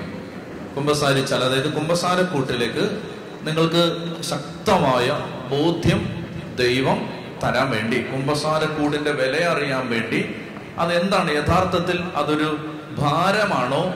ഒരു സന്തോഷമാണോ? എന്നാണ് നമ്മൾ തിരിച്ചറിയാൻ പോകുന്നത്. അപ്പൊ നിങ്ങൾ എന്നെ നന്നായിട്ട് ശ്രദ്ധിക്കുക. കർത്താവ് നിങ്ങളുടെ ഹൃദയത്തിൽ ബോധ്യം തരും. കുമ്പസാരിക്കുക എന്നുള്ളത് നമ്മുടെ ജീവിതത്തിലെ ഏറ്റവും നല്ല ഓപ്പർച്യൂണിറ്റി ആയിട്ട് നമ്മൾ കാണുന്ന ഒരു ബോധ്യം കർത്താവ് നമുക്ക് തരും. അതുകൊണ്ട് നിങ്ങൾ നന്നായിട്ട് ശ്രദ്ധിച്ചിരിക്കുക. ബോധ്യം കിട്ടി. ആ ബോധ്യത്തിൽ നിന്ന് കുമ്പസാരിച്ചാൽ വലിയ ദൈവാനുഗ്രഹങ്ങൾ കിട്ടും. ഞാൻ എന്റെ ജീവിതത്തിൽ കുമ്പസാരക്കൂട്ടിൽ സംഭവിച്ച അത്ഭുതങ്ങളുടെ അനേക ഓർമ്മകൾ എന്റെ ജീവിതത്തിലുണ്ട്. ഒരു പ്രധാനപ്പെട്ട അനുഭവം ഞാൻ പറയാം. ഞാൻ ഖത്തറിൽ അവിടുത്തെ മലങ്കര കമ്മ്യൂണിറ്റിയിൽ ഒരു ഒന്നര മാസം ഒരു പ്രത്യേക ആവശ്യത്തിന് അവിടെ പോയി ശുശ്രൂഷ ചെയ്ത് അവിടെ താമസിച്ചിരുന്നു. ആ സമയത്ത് ജീസസ് യൂത്തിലെ അനേകം ചെറുപ്പക്കാര് സഹോദരിമാര് അവരൊരുമിച്ച് വന്ന് ഞങ്ങൾ ഒരുമിച്ച് പ്രാർത്ഥിക്കുമായിരുന്നു. ജീസസ് യൂത്തിന് വേണ്ടി വൈകുന്നേരങ്ങളിൽ ട്രെയിനിങ് പ്രോഗ്രാംസ് അവർക്ക് ബൈബിൾ പഠിപ്പിക്കുക ഇങ്ങനെ ചെയ്യുമായിരുന്നു. അങ്ങനെ ജീസസ് യൂത്തിലെ ചെറുപ്പക്കാരെല്ലാം കൂടി ഒരു ഒരു ദിവസം ഒരുമിച്ച് വന്നപ്പോൾ അവർ പറഞ്ഞു വെച്ചാൽ ഞങ്ങളുടെ കൂട്ടത്തിൽ ഒരു സഹോദരി അനേകം മാസങ്ങളായിട്ട് എല്ല് പൊടിയുന്ന അസുഖവുമായിട്ട് തളർന്നു കിടക്കുകയാണ്. അപ്പൊ അതുകൊണ്ട് ആ സഹോദരിക്ക് കുമ്പസാരിച്ചാൽ കൊള്ളാമെന്നൊരു ആഗ്രഹമുണ്ട്. അപ്പൊ ഇങ്ങോട്ട് വന്ന് കുമ്പസാരിക്കാൻ പറ്റില്ല. അച്ഛന് അങ്ങോട്ട് ചെല്ലാമോ? അപ്പൊ സൗകര്യപ്രദമായിട്ട് അച്ഛനെ വിളിക്കും. അപ്പൊ അച്ഛന് പോകാമോ ചോദിച്ചു. അപ്പൊ ഞാൻ തീർച്ചയായിട്ടും പോകാമെന്ന് പറഞ്ഞു. അപ്പോൾ ഇവൾക്ക് ഫോൺ നമ്പർ കൊടുത്തു. അവൾ ആ രോഗക്കിടക്കെ കിടന്നുകൊണ്ട് എന്നെ വിളിച്ചു. ഞാൻ ആ വീട്ടിലേക്ക് ഉള്ള ഭർത്താവ് വന്ന് എന്നെ കൂട്ടിക്കൊണ്ടുപോയി. ഞാൻ ആ വീട്ടിലേക്ക് ചെന്നു. അവിടെ ചെല്ലുമ്പോൾ ചെറുപ്പക്കാരി ചങ്ങനാശ്ശേരിക്കാരി ഒരു മകൾ ഒരു ചെറിയ കുഞ്ഞുണ്ട് കൊച്ചുകുട്ടി ഭർത്താവ് ജോലി ചെയ്യുന്നു. ഇവൾ ഭർത്താവിന്റെ കൂടെ ജീവിക്കാൻ വേണ്ടി മറ്റൊരു വിദേശ രാജ്യത്ത് നിന്ന് അവളുടെ ജോലി കളഞ്ഞിട്ട് ഖത്തറിലേക്ക് എത്തിയതാണ്. അങ്ങനെ അവൾ അവിടെ എത്തി. ഏതാനും നാളുകൾ കഴിയുമ്പോൾ ഇവൾക്കൊരു അപൂർവമായ അസുഖം കണ്ടെത്തി. നടുവേദന അത് എന്ന് പരിശോധിച്ചു കഴിഞ്ഞപ്പോഴേക്കും ഇങ്ങനെ എല്ല് പൊടിയുന്ന രോഗമാണ്. അങ്ങനെ പൂർണമായിട്ടും അവൾ കിടപ്പിലായി. എഴുന്നേൽക്കാനോ ജോലി ചെയ്യാനോ ഒന്നും പറ്റാത്ത അവസ്ഥയായി. ശരീരം തളർന്ന അവസ്ഥയായി. കൊച്ചിനെ നോക്കാൻ പോലും പറ്റാത്ത അവസ്ഥയായി. അങ്ങനെ ഈ ഭർത്താവ് കുഞ്ഞിനെ നോക്കി ജോലിയൊക്കെ ചെയ്ത് വളരെ ക്ലേശിച്ച് നിൽക്കുന്ന ഒരു സാഹചര്യമാണിത്. അപ്പോൾ കുറച്ച് നാൾ കഴിഞ്ഞിട്ട് കുറച്ച് മാസങ്ങൾ കഴിഞ്ഞിട്ട് ഡോക്ടേഴ്സ് ഒരു മേജർ സർജറി പറഞ്ഞിട്ടുണ്ട്. അപ്പൊ അതിനകത്ത് ഉറപ്പൊന്നുമില്ല. ഇവിടെ എഴുന്നേക്കുമെന്ന് ഉറപ്പൊന്നുമില്ല. അങ്ങനെ വല്ലാത്തൊരവസ്ഥയിൽ ഈ മകൾ തളർന്നു കിടക്കുന്ന ഒരു സന്ദർഭമാണത്. അപ്പൊ ഈ സാഹചര്യം എല്ലാം അവളെ എടുത്ത് പറഞ്ഞിട്ട് അവൾ കുമ്പസാരിച്ചു. കുമ്പസാരം എല്ലാം കഴിഞ്ഞ് ആശീർവാദം എല്ലാം കൊടുത്ത് പ്രാർത്ഥിച്ച് ഞാൻ തിരിച്ചു പോരുമ്പോൾ അവളോട് ഞാൻ പറഞ്ഞു നീ കുറച്ച് വചനമൊക്കെ വായിക്കുക എന്ന് പറഞ്ഞിട്ട് കുറെ കാര്യങ്ങളെല്ലാം എഴുതി കൊടുത്ത് ഞാൻ തിരിച്ചു പോരുന്നു നാല് ദിവസം കഴിയുമ്പോൾ ഈ പെൺകുട്ടി എന്നെ വീണ്ടും വിളിച്ചു. വിളിച്ചിട്ട് അവൾ പറഞ്ഞു അച്ഛാ എനിക്ക് ഒന്നുകൂടെ കുമ്പസാരിക്കണം. അപ്പൊ ഞാൻ പറഞ്ഞു നാല് ദിവസമുള്ള ആയുള്ളൂ കുമ്പസാരിച്ചിട്ട്. അപ്പൊ അവൾ എന്റെ അടുത്ത് പറഞ്ഞു അച്ഛാ ഇന്നലെ വേറൊരു രാജ്യത്ത് ശുശ്രൂഷ ചെയ്യുന്ന മറ്റൊരു ജീസസ് യൂത്ത് ആ ശുശ്രൂഷകൻ നല്ല ഗിഫ്റ്റഡ് കൗൺസിലറാണ് ആ കൗൺസിലർ അവർ പറഞ്ഞിട്ട് അവിടെയുള്ള ആളുകളെ പറഞ്ഞിട്ട് എന്നെ ഫോണിൽ വിളിച്ച് എന്നോട് സംസാരിച്ച് ഫോണിൽ പ്രാർത്ഥിച്ച് കുറേ പ്രാർത്ഥിച്ചപ്പോൾ അദ്ദേഹം ഞാൻ ഗൗരവമായിട്ട് എടുക്കാതിരുന്ന ജീവിതത്തിലെ ചില പാപമേഖലകൾ കർത്താവ് നേരത്തെ അച്ഛൻ മാത്യു അച്ഛൻ പറഞ്ഞ പോലെ ബെന്നി മുന്നത്ര സാറിന് കാണിച്ചു കൊടുത്ത പോലെ ചില മേഖലകൾ വലിയ മാരകമായ പാവങ്ങളെല്ലാം ഓർമ്മയിലുള്ളതെല്ലാം അവൾ കുമ്പസാരിച്ചിട്ടുണ്ട്. എന്നാൽ ചില മേഖലകൾ ഞാൻ നേരത്തെ പറഞ്ഞ പോലെയുള്ള ചില മേഖലകൾ അവൾ അത് കണ്ടെത്താതെ കിടന്നത്. കുഞ്ഞു കുഞ്ഞു കാര്യങ്ങളായിട്ട് നമ്മൾ കാണുന്ന നിസ്സാരമായിട്ട് കാണുന്ന കാര്യങ്ങളൊക്കെ കർത്താവ് പ്രാർത്ഥിച്ചപ്പോൾ മറന്നുപോയ കാര്യങ്ങളൊക്കെ അവൾക്ക് കാണിച്ചു കൊടുത്തു. അപ്പൊ അവൾ അതെല്ലാം കണ്ണുനീരോടെ ഒരു പേപ്പറിൽ എഴുതി വെച്ചിട്ടാണ് എന്നെ വിളിക്കുന്നത്. അവൾ എന്റെ അടുത്ത് പറയുകയാണ് അച്ഛാ അച്ഛനൊന്ന് വരാമോ? ഞാൻ പറഞ്ഞ മോളെ ഞാൻ നല്ല തിരക്കിലാണ് ഇവിടെ. എനിക്ക് വരാൻ പറ്റുമെന്ന് അറിയില്ല ഞാൻ നോക്കട്ടെ. അല്ലെ നാളെ ആവട്ടെ അവൾ പറഞ്ഞു അച്ഛാ പറ്റില്ല എനിക്ക് കുമ്പസാരിച്ചേ പറ്റൂ. എനിക്ക് ഒരു മനസമാധാനമില്ല. ഞാനും ശരിക്കും ശ്രദ്ധിക്കാതെ കിടന്ന ഇഷ്ടം പോലെ മേഖലകൾ എന്റെ ജീവിതത്തിൽ പരിശുദ്ധാത്മാവ് കാണിച്ചു തന്നിരിക്കുകയാണ്. അപ്പൊ ഞാൻ പറഞ്ഞു ഞാൻ വരാം ആരെന്നെ കൊണ്ടുപോകും? അപ്പൊ പറഞ്ഞു എന്റെ ഹസ്ബൻഡിന് ഇന്ന് നല്ല ജോലി തിരക്കുള്ള ദിവസമാണ്. ഭർത്താവിന്റെ കൂട്ടുകാരെ ഞാൻ വിടാന്ന് പറഞ്ഞു. അപ്പൊ രണ്ട് ജീസസ് യുദ്ധക്കാർ വന്നു എന്നെ കാറെ കയറ്റി. അവളുടെ വീട്ടിൽ കൊണ്ടുചെന്നു. അവർ പറഞ്ഞു വെച്ചാൽ ഞങ്ങൾ ജോലി സ്ഥലത്ത് നിന്ന് വരികയാണ്. ഞങ്ങൾ കുമ്പസാരം കഴിയുമ്പോൾ അച്ഛൻ വിളിച്ചു ഞങ്ങൾ വന്ന അച്ഛനെ തിരിച്ചു കൊണ്ടുവിടാന്ന് പറഞ്ഞു. അപ്പൊ ഇവൾ തളർന്ന് കിടക്കുകയാണ്. കുഞ്ഞിനെ ഭർത്താവ് നാട്ടിലേക്ക് തലേ ദിവസം അയച്ചു. ഒരു ചെറിയ കുട്ടി മാത്രമേ ഇവളെ സഹായിക്കാൻ വേണ്ടിയുള്ളൂ. ജോലിയൊക്കെ ചെയ്യാൻ സഹായിക്കാൻ വേണ്ടിയുള്ളത് ഒരു ചെറിയ പെൺകുട്ടിയാണ്. അപ്പൊ ഇവൾ അവൾ കിടക്കുകയാണ്. ഞാൻ അടുത്ത് കസേരയിട്ടിരുന്ന്. അവൾ തലേ ദിവസം കുമ്പസാരിച്ചതുപോലെ അല്ല ഈ നാല് ദിവസം കഴിഞ്ഞുള്ള കുംഭസാരത്തിന് വ്യത്യാസമുണ്ട്. കഴിഞ്ഞ ദിവസത്തെ കുംഭസാരത്തെ പോലെ അല്ലത്. അവൾ ഓരോ പാപം ഏറ്റു പറയുമ്പോഴും ഹൃദയം പൊട്ടി പൊട്ടിക്കരഞ്ഞുകൊണ്ടാണ് അവൾ പാപങ്ങളെല്ലാം ഏറ്റു പറയുന്നത്. ആ പാപങ്ങളെല്ലാം അവൾ എഴുതി വെച്ചിട്ടുണ്ട് കിടന്നുകൊണ്ട് ഇങ്ങനെ പറയുകയാണ്. കണ്ണുനീര് ധാരധാരയായി ഒഴുകുന്നുണ്ട്. ഏങ്ങലടിച്ച് കരഞ്ഞുകൊണ്ട് അവൾ ചെറിയ ചെറിയ ചെറിയ പാപങ്ങളെന്ന് അവൾ കരുതിയിരുന്നതെല്ലാം കുംഭസാരത്തിൽ ഏറ്റു പറഞ്ഞു. കുറേ അധികം സമയമെടുത്ത്. പരിശുദ്ധാത്മാവ് വരുമ്പോൾ നമുക്കത് മനസ്സിലാവും. അതായത് ഒരു അന്തരീക്ഷത്തിലേക്ക് ആത്മാവ് പ്രവർത്തിച്ചു തുടങ്ങുമ്പോൾ വേഗം പിടികിട്ടും. അപ്പൊ ഈ കുംഭസാരത്തിന് ഉള്ളിൽ പാപ ഏറ്റു പറഞ്ഞുകൊണ്ടിരിക്കുമ്പോ തന്നെ കർത്താവ് ആ മുറിയിലേക്ക് ഇറങ്ങി വന്ന പോലെ എനിക്ക് തോന്നി. ഞാൻ ഇവളെടുത്ത് പറഞ്ഞു മോളെ ഈശോ ഈ മുറിയിൽ ഇപ്പൊ ഉണ്ട്. ഇവൾ പറഞ്ഞുകൊണ്ടിരിക്കുക അപ്പൊ അവൾ കരച്ചിലിന് ശക്തി കൂടിയിട്ട് അവൾ പറഞ്ഞ നൂറ് തവണ നൂറ് വട്ടം ഞാനത് വിശ്വസിക്കുന്നു. കാരണം ഞാൻ ഈ പാപങ്ങൾ ഓരോന്ന് ഓരോന്ന് ഓരോന്ന് എഴുതി മനസ്താപത്തോടെ എഴുതിക്കൊണ്ടിരുന്ന സമയത്ത് പതിനായിരക്കണക്കിന് ഉറുമ്പുകൾ എന്റെ നട്ടലിലൂടെ എഴഞ്ഞു പോകുന്നത് പോലെ എന്റെ ശരീരത്തിൽ എനിക്കൊരു അനുഭവം ഉണ്ടാകാൻ തുടങ്ങി. അത് ഇപ്പോഴും എനിക്കുണ്ടത്. എന്റെ ശരീരത്തിലുണ്ടത്. എന്തോ കർത്താവ് എന്നിൽ പ്രവർത്തിക്കുന്നു എന്ന് എനിക്ക് മനസ്സിലാവുന്നുണ്ടെന്ന് പറഞ്ഞു. കുമ്പസാരെല്ലാം കേട്ട് കഴിഞ്ഞിട്ട് അവളോട് ഞാൻ പറഞ്ഞു പറാച്ചിത്തം എല്ലാം കൊടുത്ത് ആശീർവാദം എല്ലാം കൊടുത്തിട്ട് അവളോട് ഞാൻ പറഞ്ഞു സത്യം എന്റെ മനസ്സിൽ തോന്നുന്നു ഞാൻ പറയട്ടെ. എനിക്ക് നിന്നെ ഇപ്പൊ പിടിച്ച് എഴുന്നേൽപ്പിക്കണമെന്നുണ്ട് എന്റെ മനസ്സിൽ അതിന് മുമ്പോ അതിന് ശേഷമോ തളർന്നു കിടക്കുന്ന ഒരാളെടുത്ത് എത്തുമ്പോൾ അതുപോലെ സ്ട്രോങ് ആയിട്ടൊരു ഫീലിംഗ് വന്നിട്ടില്ല. ഇയാളെ എഴുന്നേൽപ്പിച്ചാലോ അപ്പൊ എന്റെ മനസ്സിൽ തോന്നുകയാണ് ഞാൻ പറഞ്ഞു മോളെ എന്റെ മനസ്സിൽ വളരെ സത്യസന്ധമായിട്ട് ഇപ്പൊ ഞാൻ എന്താ ഫീൽ ചെയ്യുന്നത് പറയട്ടെ. എനിക്ക് നിന്നെ ഇപ്പം പിടിച്ച് എഴുന്നേൽപ്പിക്കാൻ തോന്നുകയാണ്. അപ്പൊ ഞാൻ ഒരു കാര്യം ഓർത്തു ഒരു പ്രൂഡൻസിന്റെ ഉണ്ടായിരുന്നു അതിനകത്ത്. കാരണം ഞാനും ഇവളും ആ കൊച്ചു പെൺകുട്ടി മാത്രമേ ആ വീട്ടിലുള്ളൂ. അപ്പോൾ ഈ കുട്ടിക്ക് എന്തെങ്കിലും ഒരു കാര്യത്തിന് ഞാൻ ഇങ്ങനെ ചിന്തിക്കണം എന്റെ മാനുഷിക ബുദ്ധിയിൽ. അതായത് ഇവൾ ഇവൾ തളർന്നു കിടക്കുന്ന ഒരു കുട്ടിയാണ്. ഞാൻ ഇവളെ ഇപ്പൊ എഴുന്നേൽപ്പിക്കണം എന്ന് എന്റെ മനസ്സിൽ വളരെ സ്ട്രോങ് ആയിട്ടൊരു ഒരു ഒരു ശക്തമായ പ്രേരണ വരുന്നുണ്ട്. ഞാനിപ്പോ ഇവളെ എഴുന്നേൽപ്പിച്ചാൽ ഒരു സഹായം വേണ്ടി വന്നാൽ എനിക്ക് ആ പരിചയമില്ലാത്തൊരു നാടാണ്. എന്നെ കൊണ്ടുവിട്ട ചെറുപ്പക്കാര് പോയി കഴിഞ്ഞു. ഈ വീട്ടിൽ ഒരു കൊച്ചു പെൺകുട്ടി മാത്രമേ ഉള്ളൂ അപ്പൊ അതിനകത്ത് എന്തോ ഒരു പ്രൂഡൻസിന്റെ പ്രശ്നമുള്ള പോലെ എനിക്ക് തോന്നിയിട്ട് അത് വിവേകാവില്ല എന്ന് ചിന്തിച്ചിട്ട് ഞാൻ പറഞ്ഞു ഞാൻ ഇപ്പോൾ അത് ചെയ്യുന്നില്ല. എന്നാൽ ഞാൻ നിന്നോട് കാര്യം പറയട്ടെ. നിന്റെ ഭർത്താവ് വരുമ്പോ അഞ്ചു മണിക്ക് നിന്റെ ഭർത്താവ് വീട്ടിലെത്തുമ്പോ ഞാൻ നിന്നോട് പറയുകയാണ് നീ ഭർത്താവിനോട് പറഞ്ഞിട്ട് അങ്ങ് എഴുന്നേക്കണം അവൾ കരഞ്ഞിട്ട് എന്റെ അടുത്ത് പറഞ്ഞു വെച്ചാൽ ഞാൻ എഴുന്നേക്കുമെന്ന് പറഞ്ഞു. ഞാൻ എഴുന്നേക്കുമെന്ന് പറഞ്ഞു. ഞാൻ വിളിച്ചപ്പോ ഭർത്താവിന്റെ കൂട്ടുകാർ വന്നു അവരെന്നെ തിരിച്ച് പള്ളി കൊണ്ടുവിട്ടു. വൈകിട്ട് അഞ്ചു മണിക്ക് ഭർത്താവ് വന്നു. വന്നപ്പോ അവൾ പറഞ്ഞു അച്ചാച്ച എനിക്ക് എഴുന്നേക്കണം എന്ന് പറഞ്ഞു. അവൻ പറഞ്ഞു വിഡ്ഢിത്തരം പറയരുതെന്ന് പറഞ്ഞു. അപ്പൊ പറഞ്ഞു എന്നെ എഴുന്നേൽപ്പിക്കാൻ പറഞ്ഞു. നിനക്ക് വയ്യാത്ത നീ എന്ത് എന്ത് വിഡ്ഢിത്തരം പറയുന്നേ? തമാശ പറയാണോ? നീ തളർന്നു കിടക്കല്ലേ നിനക്കെന്താ മാനസിക സ്ഥിരത ബുദ്ധി സ്ഥിരത പോയോ? അവൾ പറഞ്ഞില്ല എനിക്ക് എഴുന്നേക്കണം എന്നെ കർത്താവ് സുഖപ്പെടുത്തും. എനിക്ക് എഴുന്നേക്കണം അവൻ പറഞ്ഞു നീ അബദ്ധം പറയരുതെന്ന് പറഞ്ഞു. അപ്പൊ അവൻ ചോദിച്ചു നീ ഇങ്ങനെ പറയാൻ ഇപ്പൊ എന്താ കാരണം? അവൾ മറുപടി പറയുകയാണ് അച്ഛൻ കുമ്പസാരിച്ചു കഴിഞ്ഞപ്പോ പറഞ്ഞു എഴുന്നേക്കണമെന്ന് പറഞ്ഞു. അച്ഛൻ അങ്ങനെ പലതും പറയുന്നോ പറഞ്ഞു. അച്ഛനല്ല നിനക്ക് ചെലവിനരുത് അതുകൊണ്ട് ഞാൻ പറയുന്ന കേട്ടാ മതി എന്ന് പറഞ്ഞു. അവന് ദേഷ്യം വന്നു. കാരണം അവന് ഈ സാഹചര്യം ഒന്നും അറിയില്ല. അപ്പൊ ഇവളിങ്ങനെ തളന്ന് കിടക്കുന്ന എല്ല് പൊടിയുന്ന രോഗമുള്ള സർജറി ചെയ്താൽ പോലും ഡോക്ടേഴ്സ് ഉറപ്പ് പറയാത്ത അങ്ങനെ കിടക്കുന്ന ഒരു പെൺകുട്ടി പെട്ടെന്ന് എഴുന്നേക്കണമെന്ന് പറയുമ്പോൾ അവൻ അരിശം വന്നു. അവനെ കുറ്റം പറഞ്ഞിട്ട് കാര്യമില്ല. അവൻ പറഞ്ഞു മര്യാദക്കോടെ കിടക്കാൻ പറഞ്ഞു. അപ്പൊ ഇവൾ വാവിട്ട് കരഞ്ഞിട്ട് പറഞ്ഞു എനിക്ക് എഴുന്നേക്കണം എന്നെ സഹായിക്കാൻ പറഞ്ഞു. എന്നെ ഇങ്ങനെ കൈനീട്ടി അവൻ ഒരു തരത്തിൽ അതിന് സമ്മതിച്ചില്ല. എന്റെ പ്രിയപ്പെട്ട സഹോദരങ്ങളെ ഒരു ഏഴു മണിയായി. അപ്പൊ തലേന്ന് വിളിച്ച് ഫോണിലൂടെ കൗൺസിലിംഗ് കൊടുത്ത ആ സഹോദരൻ വേറൊരു രാജ്യത്താണ്. കിടന്നിട്ട് ഉറക്കം വരുന്നില്ല. ഉറങ്ങാൻ പറ്റുന്നില്ല. കർത്താവ് ഹൃദയത്തിൽ പറയുകയാണ് അവളെ വിളിക്കും. അപ്പൊ ഇത് എന്ത് ചെയ്തു? ആ രാജ്യത്ത് നിന്ന് ഇവളെ വിളിച്ചു. വിളിച്ചിട്ട് പറഞ്ഞു എനിക്ക് നിന്നോടൊരു കാര്യം പറയാനുണ്ട്. കർത്താവ് നിന്നെ സുഖപ്പെടുത്തിയിട്ട് നീ എന്താണ് എഴുന്നേൽക്കാത്തത്?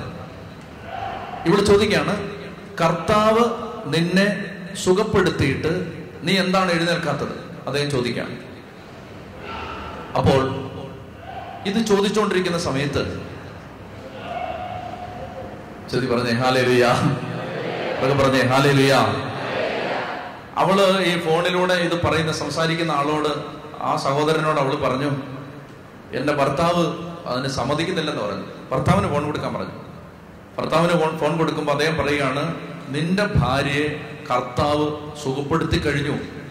നീ അതിന് തടസ്സം നിൽക്കരുത്. എഴുന്നേപ്പിക്കാൻ പറഞ്ഞു. അവൻ മനസ്സില്ല മനസ്സോടെ കൈനീട്ടി കൊടുത്ത് വളരെ ലാഘവത്തോടെ ഈ തളർന്നു കിടന്ന പങ്കുവച്ച് ഒന്ന് ചാടി എഴുന്നേറ്റു.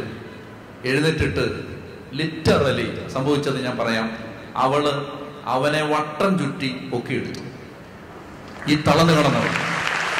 പൊക്കിയെടുത്തിട്ട് അവന് വിശ്വസിക്കാൻ പറ്റുന്നില്ല. ഈ തളർന്നു കിടന്ന പെൺകുട്ടി എഴുന്നേറ്റ് ഇവനെ അങ്ങ് എടുത്തു. ഇവനെ അങ്ങ് എടുത്തു പൊക്കി. ഒമ്പത് മണിക്ക് ഞാൻ എന്റെ പള്ളിമുറിയിൽ ഇരിക്കുമ്പോൾ ഭാര്യയും ഭർത്താവോട് എന്റെ മുമ്പിൽ വന്നിട്ട് കരഞ്ഞുകൊണ്ട് പറഞ്ഞ സംഭവമാണിത്. മുട്ടയിൽ നിന്ന് ആശീർവാദം വാങ്ങിച്ച് അവൾ തിരിച്ചുപോയി. കുംഭസാര കൂട്ടിൽ ഞാൻ കണ്ടിട്ടുള്ള അനേക അനുഭവങ്ങളിൽ ഒന്നാണിത് കർത്താവിന്റെ കരം ഒരു വ്യക്തിയുടെ മേൽ പ്രകടമായി ശാരീരികമായി മാനസികമായി ആത്മീയമായി ഇറങ്ങി വരുന്ന ഒരു അഭിഷേകമാണ് കുംഭസാരം. അതുകൊണ്ടാണ് പിശാജ് അനേകം പേരെ കുംഭസാരിക്കാൻ പറ്റാത്തൊരവസ്ഥയിലാക്കുന്നത്. ചൊത്തി പറഞ്ഞേ ഹാലേലുയാ. ചൊത്തി പറഞ്ഞേ ഹാലേലുയാ. എന്തുകൊണ്ട് കുംഭസാരിക്കണം? ഞാൻ ചില ന്യായങ്ങൾ പറയാം. നിങ്ങൾക്ക് വിശ്വാസം വരുന്നെങ്കിൽ മാത്രം നിങ്ങൾ കുംഭസാരിച്ചാൽ മതി. അതായത് ഞാൻ ചില ബോധ്യങ്ങൾ പങ്കുവെക്കാം. എന്തിനാണ് നമ്മൾ കുമ്പസാരിക്കേണ്ടത്? ഒന്ന് സുഭാഷിതം ഇരുപത്തെട്ട് പതിമൂന്ന് പ്രോവേബ്സ് ട്വന്റി എയ്റ്റ് തേർട്ടീൻ. സുഭാഷിതം ഇരുപത്തെട്ട് പതിമൂന്നിൽ ദൈവത്തിന്റെ വചനം പറയുകയാണ് തെറ്റുകൾ മറച്ചു പിടിക്കുന്നവന് ഐശ്വര്യം ഉണ്ടാവില്ല. റീസൺ നമ്പർ വൺ കുംഭസാരിക്കേണ്ടതിന്റെ ആവശ്യകത. ദൈവജന പറയുകയാണ് സുഭാഷിതം ഇരുപത്തെട്ട് പതിമൂന്ന് തെറ്റുകൾ മറച്ചു പിടിക്കുന്നവന് ഐശ്വര്യം ഉണ്ടാവില്ല. ഒന്നുറക്കെ പറഞ്ഞേ തെറ്റുകൾ മറച്ചു പിടിക്കുന്നവന് ഉച്ചത്തി പറഞ്ഞേ തെറ്റുകൾ മറച്ചു പിടിക്കുന്നവന് ഐശ്വര്യം ഉണ്ടാവില്ല. അവ ഏറ്റുപറഞ്ഞ് ഉപേക്ഷിക്കുന്നവന് കരുണ ലഭിക്കും. ഒന്ന് ശ്രദ്ധിച്ചേ. അതായത് ദൈവത്തിന്റെ വചനം പറയുകയാണ് തെറ്റുകൾ മറച്ചു പിടിക്കുന്നവന് ഐശ്വര്യം ഉണ്ടാവില്ല. അവ ഏറ്റുപറഞ്ഞ് ഉപേക്ഷിക്കുന്നവന് കരുണ കിട്ടും. ഇപ്പൊ നമ്മൾ നമ്മുടെ തെറ്റുകൾ മൂടി വെച്ചാൽ നിങ്ങൾ ഇങ്ങോട്ട് നോക്കിയേ? തെറ്റ് വരാത്ത ആരെങ്കിലും ഉണ്ടോ ഈ കൂട്ടത്തിൽ? നിങ്ങളും ഇല്ല ഞാനും ഇല്ല. തെറ്റ് വരാത്ത ഒറ്റ ആൾ പോലും ഇല്ല. ഫ്രാൻസിസ് മാർപ്പാപ്പയ്ക്കും തെറ്റ് വരും. എല്ലാ കർദിനാളന്മാർക്കും തെറ്റ് വരാം. മെത്രാമാർക്കും വൈദികർക്കും അൽമായർക്കും എല്ലാവർക്കും തെറ്റ് സംഭവിക്കാം. തെറ്റ് വരാത്ത ആരെങ്കിലും ഭൂമിയിലുണ്ട് ആരുമില്ല. പാപികളല്ലാത്ത ആരുമില്ല. ശ്രദ്ധിക്കേണ്ടത് ഇതാണ് തെറ്റു വരാം പക്ഷേ തെറ്റു വരുന്നതല്ല ദൈവത്തിന്റെ പ്രശ്നം. വിശുദ്ധ ഭരണതീത്തായോട് കർത്താവ് പറഞ്ഞു പാപം ചെയ്യുന്നവരല്ല പാപികൾ. പാപത്തെ സ്നേഹിക്കുന്നവരാണ് പാപികൾ. പാപം ചെയ്യുന്നവരല്ല പാപികൾ പാപത്തെ സ്നേഹിക്കുന്നവരാണ് പാപികൾ. പാപത്തിൽ കിടക്കുന്നവരാണ് പാപികൾ. പാപം ചെയ്യുന്നവരല്ല. പാപം വന്നു പോകുന്നവരല്ല പാപികൾ. എന്ന് പറഞ്ഞാൽ ഇവിടെ ഇരിക്കുന്ന ആളുകളിൽ പത്തായിരത്തി എണ്ണൂറ് ചെറുപ്പക്കാരിൽ ദൈവത്തിന്റെ ആത്മാവ് പറയാണ് പാപികൾ ആരാണ്? പാപം ചെയ്യുന്നവരല്ല. പാപം ചെയ്തവരല്ല. മറിച്ച് പാപത്തിൽ കിടക്കുന്നവർ പാപത്തിൽ സ്നേഹം കണ്ടെത്തിയവർ സന്തോഷം കണ്ടെത്തിയവർ പാപത്തെ സ്നേഹിച്ച് പാപം ഉപേക്ഷിക്കാൻ താല്പര്യമില്ലാതെ കിടക്കുന്നവർ അവരാണ് പാപികൾ. അപ്പൊ ദൈവം പാപി എന്ന് ബൈബിളിൽ ഉദ്ദേശിക്കുന്നത് തെറ്റ് വന്നുപോയ ആളുകളൊന്നും അല്ല നിങ്ങളുടെ ജീവിതത്തിൽ ഒരു മനുഷ്യന് ചെയ്യാവുന്ന എല്ലാ തെറ്റും നിങ്ങൾ ചെയ്തിട്ടുണ്ടെങ്കിലും നിങ്ങളെ ദൈവം പാപി എന്ന് വിളിക്കില്ല.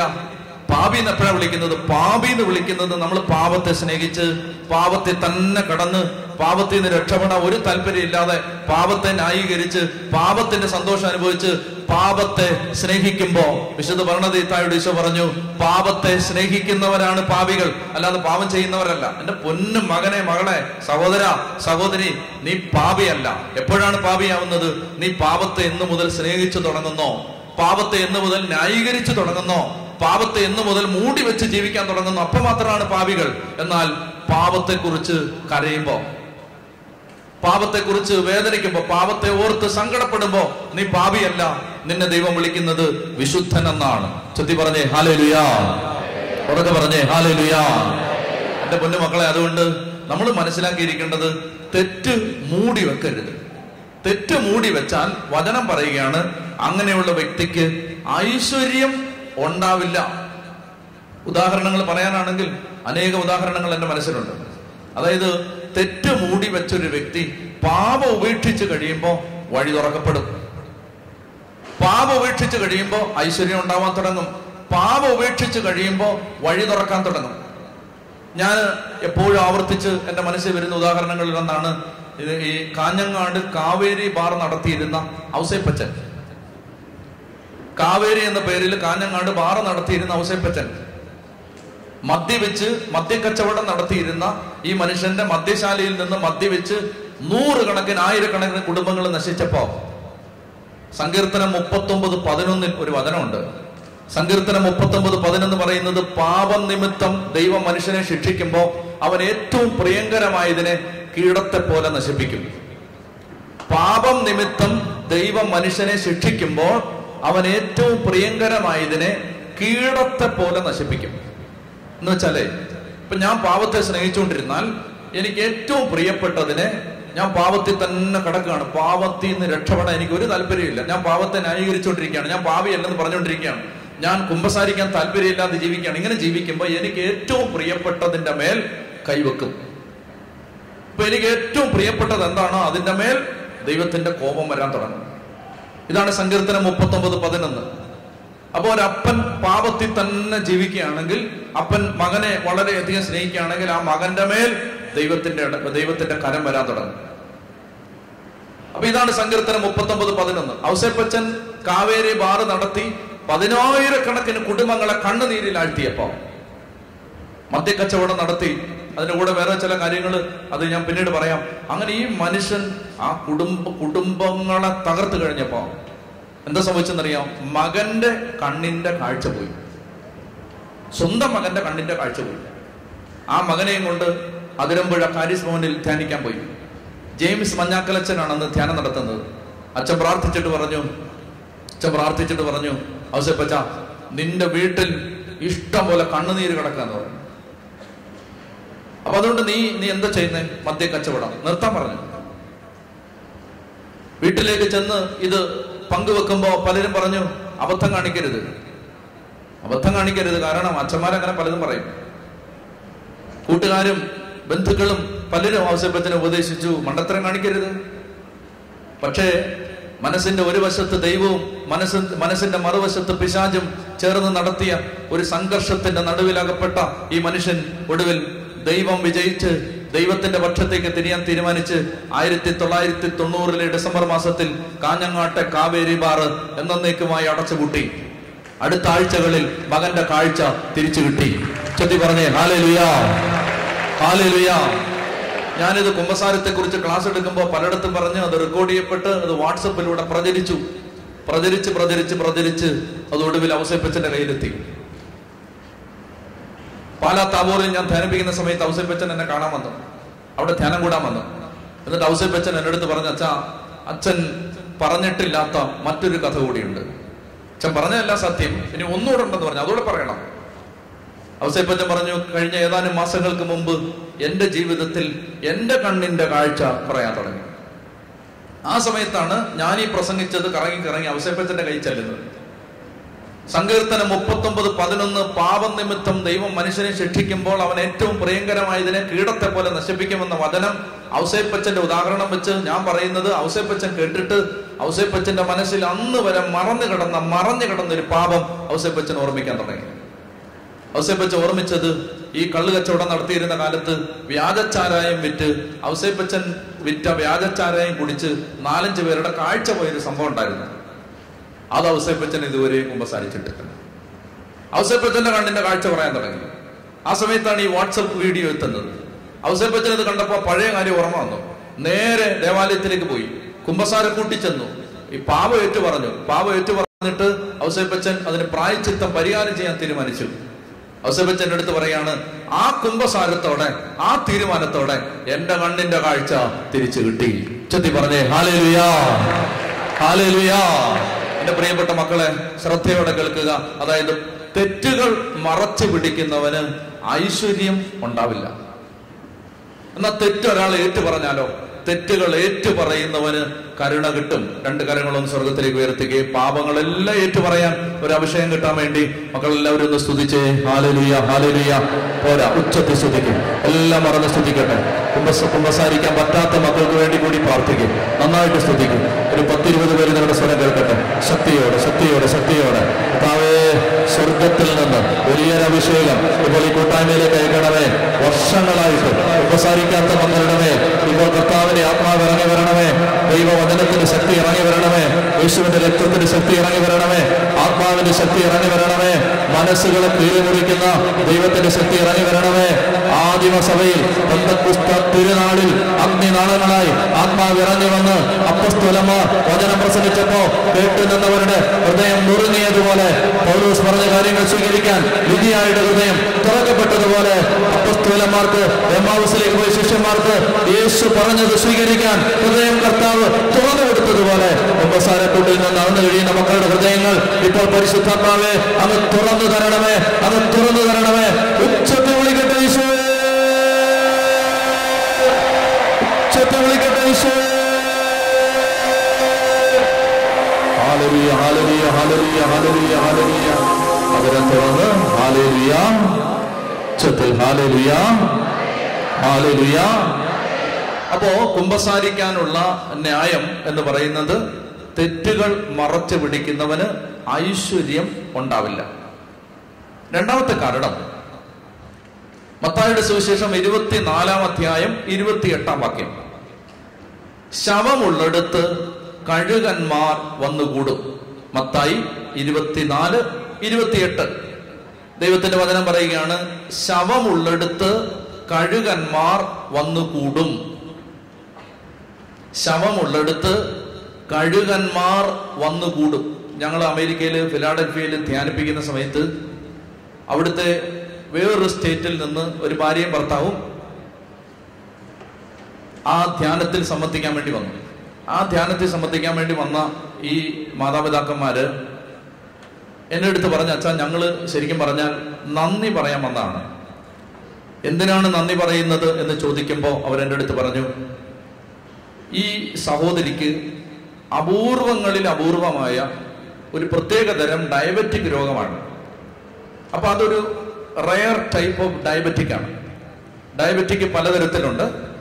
ഈ സ്ത്രീക്ക് വന്നിരിക്കുന്നത് വളരെ ആയ ഒരു ടൈപ്പ് ഓഫ് ഡയബറ്റിക് അപ്പൊ അവിടുത്തെ ഡോക്ടേഴ്സിന്റെ പ്രത്യേകത അവരിത് എങ്ങനെയാണ് ഉണ്ടാവുന്നത് എന്താണ് അതിന്റെ പിന്നിലെ കാരണങ്ങൾ ഇതൊക്കെ കണ്ടുപിടിച്ചിട്ടേ മരുന്ന് കൊടുക്കൂ. അപ്പൊ ഇവർ നല്ല സാമ്പത്തിക സ്ഥിതിയുള്ള കുടുംബത്തിലെയാണ്. വളരെ നന്നായിട്ട് ഏറ്റവും നല്ല ആശുപത്രി പോകാൻ സാമ്പത്തിക സുരക്ഷിതത്വമുള്ള കുടുംബത്തിലെ അംഗങ്ങളാണ്. അപ്പൊ അമേരിക്കയിലെ പ്രശസ്തരായ ഡോക്ടേഴ്സിനെ പലരെ ഇവർ കാണിച്ചു. കാണിച്ചിട്ട് ആർക്കും തന്നെ ഈ രോഗത്തിന്റെ വേരെന്താണെന്ന് കണ്ടുപിടിക്കാൻ പറ്റാത്തൊരവസ്ഥയാണ്. ആ സമയത്താണ് അവർ കുംഭസാരത്തിന്റെ ക്ലാസ് യൂട്യൂബിലൂടെ കേട്ടിട്ട് ഈ സഹോദരി ഭർത്താവിനോട് പറഞ്ഞു ഞാൻ ഒരു ദിവസം ലീവ് എടുക്കാൻ പോവാണ്. ലീവ് എടുത്ത് ഞാൻ നിത്യാരാധന ചാപ്പലിലേക്ക് പോയി. അവിടെ ഇരുന്ന് എന്റെ മറന്നുപോയ മറഞ്ഞു കിടക്കുന്ന പാപങ്ങളെല്ലാം കണ്ടെത്തി ഏറ്റു പറയാൻ പോവാണ്. എനിക്കൊരു വിശ്വാസമുണ്ട് അത് കഴിയുമ്പോൾ എന്റെ രോഗത്തിന് ഒരു സൗഖ്യം കിട്ടും. അങ്ങനെ ഈ സഹോദരി നിത്യാരാധന ചപ്പലിലേക്ക് ഒരു ദിവസം രാവിലെ പോയി. അവിടെ ചെന്നിട്ട് ഒരു പേപ്പറും പേനയും എടുത്ത് കർത്താവിന്റെ മുമ്പിൽ ഇരുന്ന് പ്രാർത്ഥിച്ച് പ്രാർത്ഥിച്ച് പ്രാർത്ഥിച്ച് കുമ്പസാരിക്കാത്ത പാപങ്ങളെല്ലാം ഒരു പേപ്പറിൽ എഴുതി എഴുതി എഴുതി വെച്ച് വൈകുന്നേരം ആയപ്പോ ഒരു ആശ്രമ ദേവാലയമാണത്. അവിടെ ചെന്ന് ഒരു അച്ഛന്റെ അടുത്ത് ചെന്ന് ഈ പാപമെല്ലാം ഏറ്റു പറഞ്ഞ് കുമ്പസാരിച്ച് അന്ന് തിരിച്ചു പോരുന്നു. പിറ്റേ ദിവസം രാവിലെ ഡോക്ടറെ കാണാൻ പോയി. ഡോക്ടറെ കണ്ടു. ഡോക്ടർ പരിശോധിച്ചു. അതിന്റെ പരിശോധനകളെല്ലാം നടത്തി. നടത്തിയിട്ട് അന്ന് വർഷങ്ങൾക്ക് ശേഷം ഈ ഡോക്ടർ ആ പിറ്റേ ദിവസം ഈ രോഗത്തിന്റെ വേര് കണ്ടെത്തി അതേ ഒരു ചെറിയ മരുന്ന് അഡ്മിനിസ്റ്റർ ചെയ്തു. ഒരു മാസം മറ്റോ മരുന്ന് കഴിച്ചു. അവർ പരിപൂർണമായിട്ട് സൗഖ്യപ്പെട്ടു. അവരുടെ ഡയബറ്റിക് രോഗം മാറി. ഇത് പറയാൻ വേണ്ടി അവർ ഫിലാഡൽഫിയയിലെ ധ്യാനത്തിന് വന്നിരിക്കുകയാണ്. ഞാൻ പറയുന്നത് അനുഭവങ്ങൾ പറഞ്ഞാൽ ഇഷ്ടം പോലെയുണ്ട്. കുമ്പസാരിച്ച് കഴിയുമ്പോൾ ഐശ്വര്യം ഉണ്ടാവാൻ തുടങ്ങും. ഓരോ മേഖലയിലെ പാപത്തിന്റെ കട്ട് കഴിയുമ്പോൾ നമുക്ക് ഐശ്വര്യം വരാൻ തുടങ്ങും. അതായത് നമ്മൾ ആരും തകർന്നു കിടക്കാൻ ദൈവം ആഗ്രഹിക്കുന്നില്ല. നമ്മൾ ആരും നശിച്ചു പോകാൻ ദൈവം ആഗ്രഹിക്കുന്നില്ല. ഇപ്പൊ നിങ്ങളുടെ കുടുംബം നശിച്ചു കിടക്കാൻ കർത്താവ് ആഗ്രഹിക്കുന്നില്ല. അപ്പൊ ദൈവം ആഗ്രഹിക്കുന്നത് നമ്മളെല്ലാം ഐശ്വര്യം പ്രാപിക്കണം. നമ്മളെ ഐശ്വര്യം പ്രാപിക്കാതെ തടഞ്ഞു വെച്ചിരിക്കുന്നത് എന്താണ്? പാപമാണ്. അതുകൊണ്ട് നമ്മൾ ഇത് ശ്രദ്ധിക്കണം. തെറ്റ് മറച്ചു വെക്കുന്നവന് ഐശ്വര്യം ഉണ്ടാവില്ല. രണ്ടാമത്തെ കാരണം മത്തായി ഇരുപത്തിനാല് ഇരുപത്തെട്ടാണ് ശവമുള്ളിടത്ത് കഴുകന്മാർ വന്നു കൂടും ഇത് നന്നായിട്ട് ശ്രദ്ധിച്ചാൽ നിങ്ങൾക്ക് വലിയൊരു വെളിപ്പെടുത്തൽ കിട്ടും.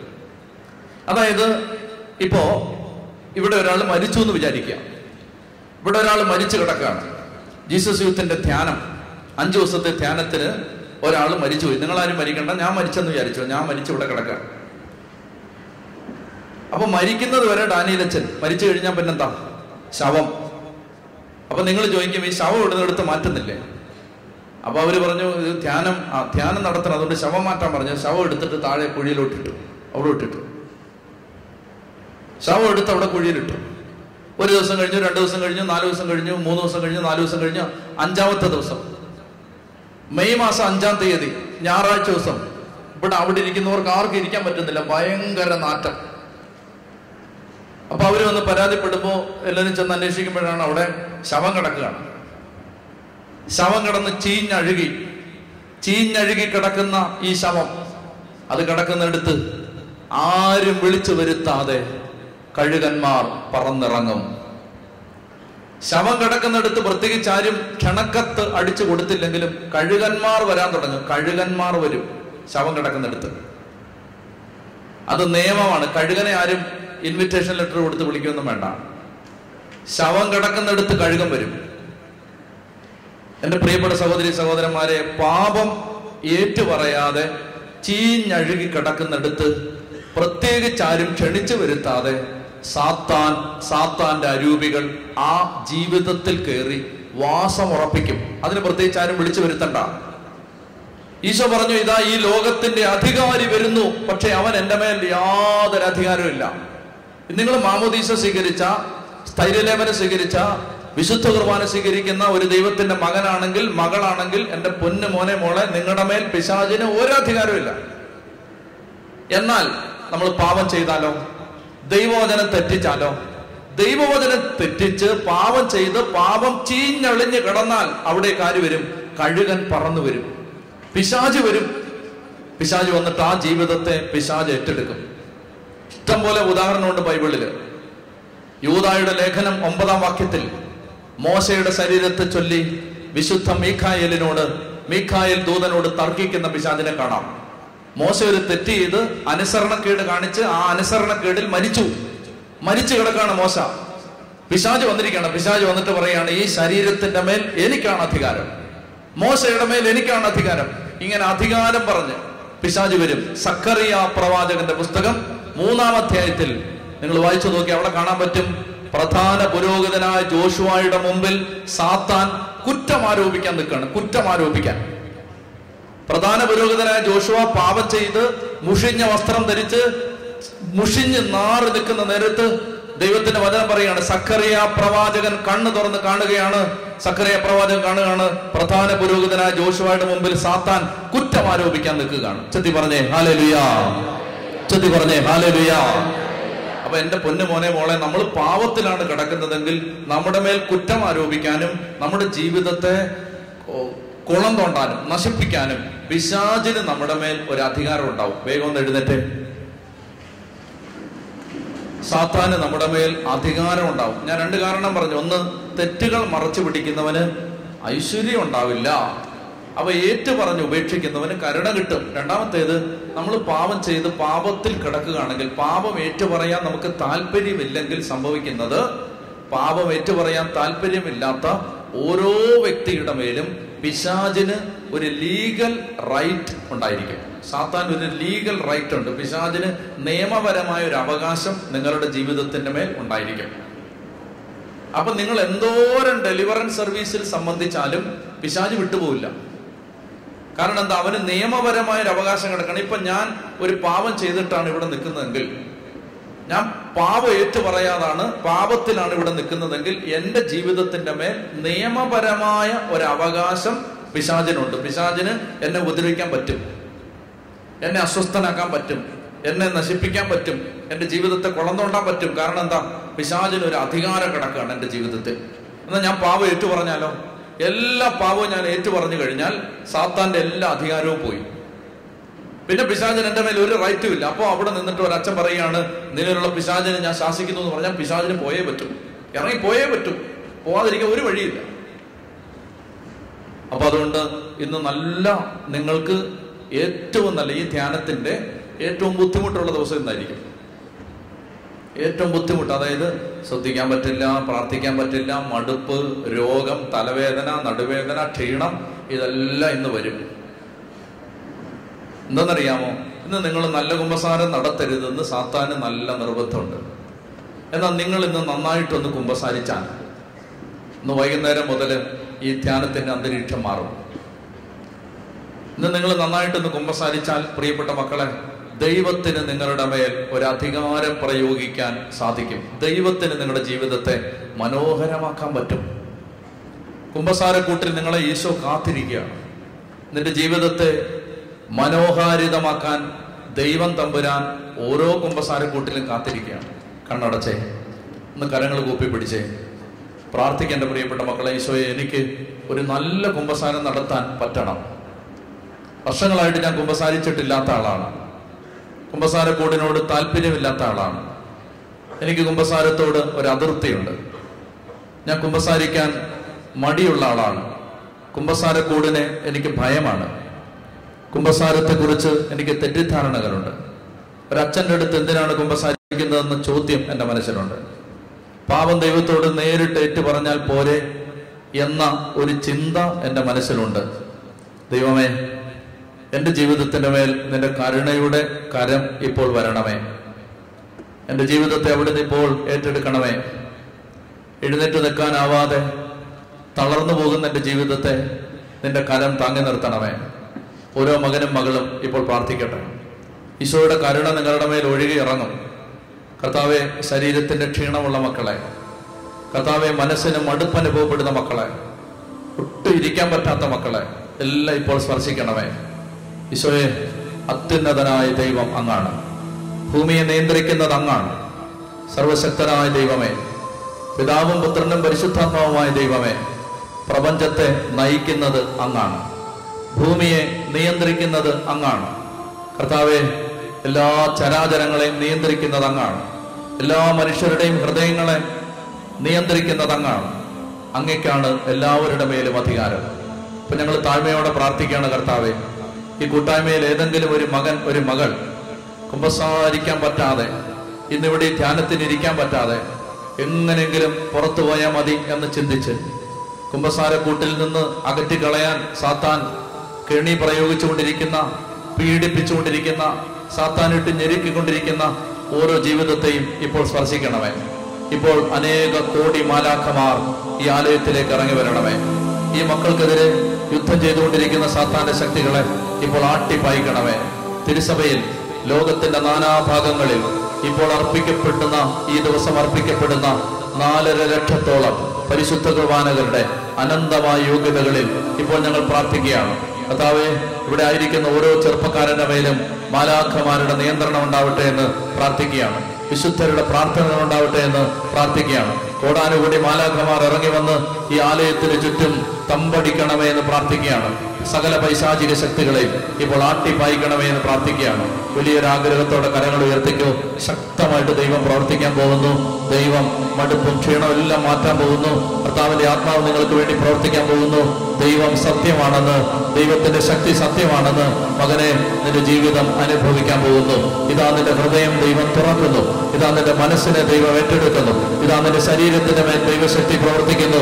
നസ്രായനായ യേശുവിന്റെ പരിശുദ്ധ നാമത്തിൽ കാൽവരി കുരിശിൽ നിന്ന് ഒഴുകിയിറങ്ങിയ വിലമതിക്കാനാവാത്ത അമൂല്യമായ തിരുരക്തത്തിന്റെ ശക്തിയിൽ അതായ ദൈവമേ ഈ ഓഡിറ്റോറിയത്തിന്റെ നാല് ഭാഗത്തെയും അങ്ങേക്ക് സമർപ്പിച്ചുകൊണ്ട് നാല് ദിക്കുകളിലും യശയ്യ നാൽപ്പത്തി മൂന്ന് നാല് അഞ്ച് വചനത്തിന്റെ അധികാരത്തിൽ നാല് ദിക്കുകളിലേക്കും വിശുദ്ധ മൈക്കായൽ വിശുദ്ധ ഗബ്രിയൽ വിശുദ്ധ റഫായൽ അസംഖ്യം മാലാഖമാരുടെ സൈന്യനിരകളെ ഭദ്രാസകരെ അധികാരികളെ തത്വികന്മാരെ ബലവാന്മാരെ ദൈവദൂതന്മാരെ ഇപ്പോൾ ഇറങ്ങി വരണമേ എന്ന് പ്രാർത്ഥിക്കാം കരങ്ങൾ ഉയർത്തി സ്തുതിക്കട്ടെ. Hallelujah hallelujah hallelujah. കോടാനുകൂടി മാലാഖമാർ ആലയത്തിലേക്ക് ഇറങ്ങി വരട്ടെ. ഈ യുദ്ധത്തിൽ മാലാഖമാർ നമ്മളെ സഹായിക്കട്ടെ. വിശുദ്ധ മിക്കായത് ഊരിയ വാളുമായി ആലയത്തിലേക്ക് ഇറങ്ങി വരണമേ പന്ത്രണ്ട് വിഭം മാലാഖമാരുടെ സൈന്യനിരകളെ ഊരിയ വാളുമായി ഈ ആലയത്തിലേക്ക് ഇറങ്ങി വരണമേ.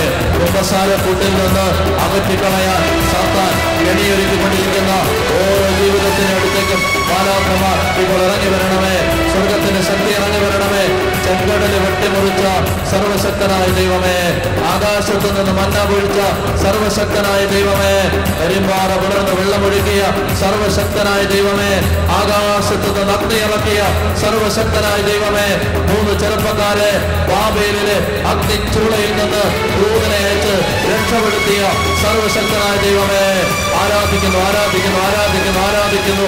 സർവ ആധിപത്യവും മഹത്വവും പ്രതാപവും സ്തുതിയും മഹിമയും ആരാധനയും ദൈവമേ അങ്ങേക്ക് സമർപ്പിക്കുന്നു. ഈ മക്കളെ വിടുവിക്കണമേ ഈ ചങ്ങലകൾ അഴിക്കണമേ ഈ ദുഃഖങ്ങൾ തകർക്കണമേ ഈ അടിമത്തത്തിന്റെ ചങ്ങലകൾ യേശുവിന്റെ നാമത്തിൽ പൊട്ടിപ്പോകട്ടെ എന്ന് പ്രാർത്ഥിക്കുന്നു. ഉച്ചത്തിൽ വിളിക്കട്ടെ ഈശോ.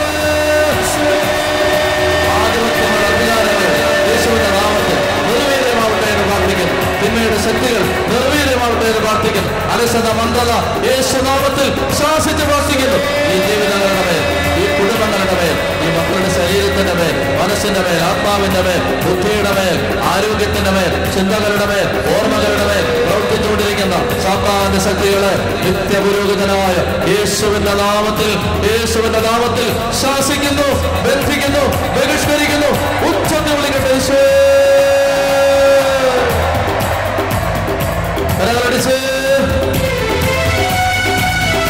എല്ലാം മറന്ന് എല്ലാം മറന്ന് ആടി പാടി പ്രാർത്ഥിച്ചേ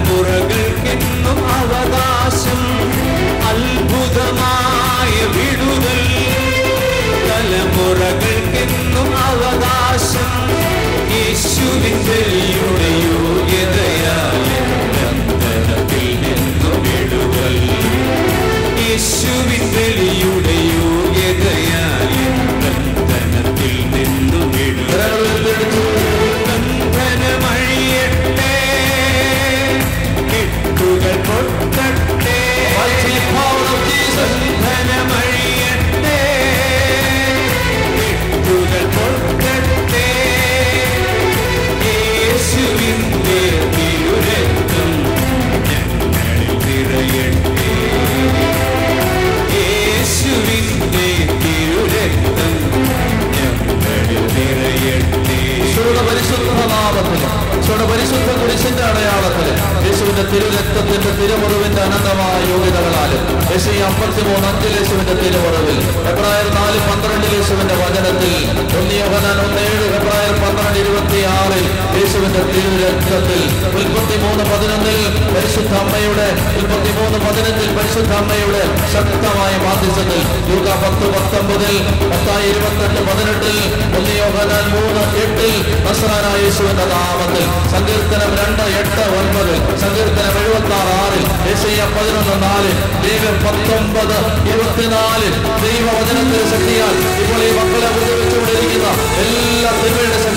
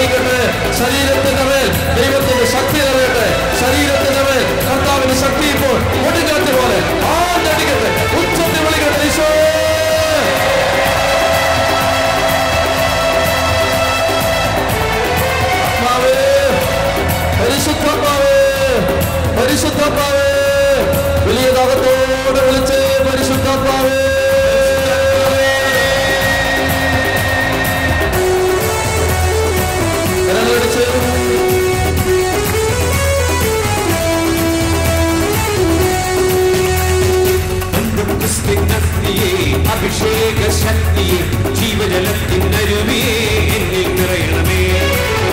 ക്രിസ്ത്യനത്തിയെ അഭിഷേക ശക്തിയെ ജീവജലത്തിനരുവിയെ എന്നിൽ നിറയണമേ. ക്രിസ്ത്യനത്തിയെ അഭിഷേക ശക്തിയെ ജീവജലത്തിനരുവിയെ എന്നിൽ നിറയണമേ.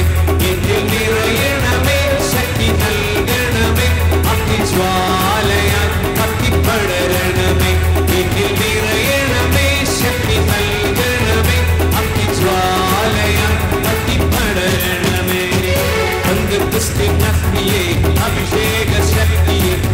ജീവജലത്തിനരുവിയെ എന്നിൽ നിറയണമേ ക്രിസ്ത്യനത്തിയെ അഭിഷേക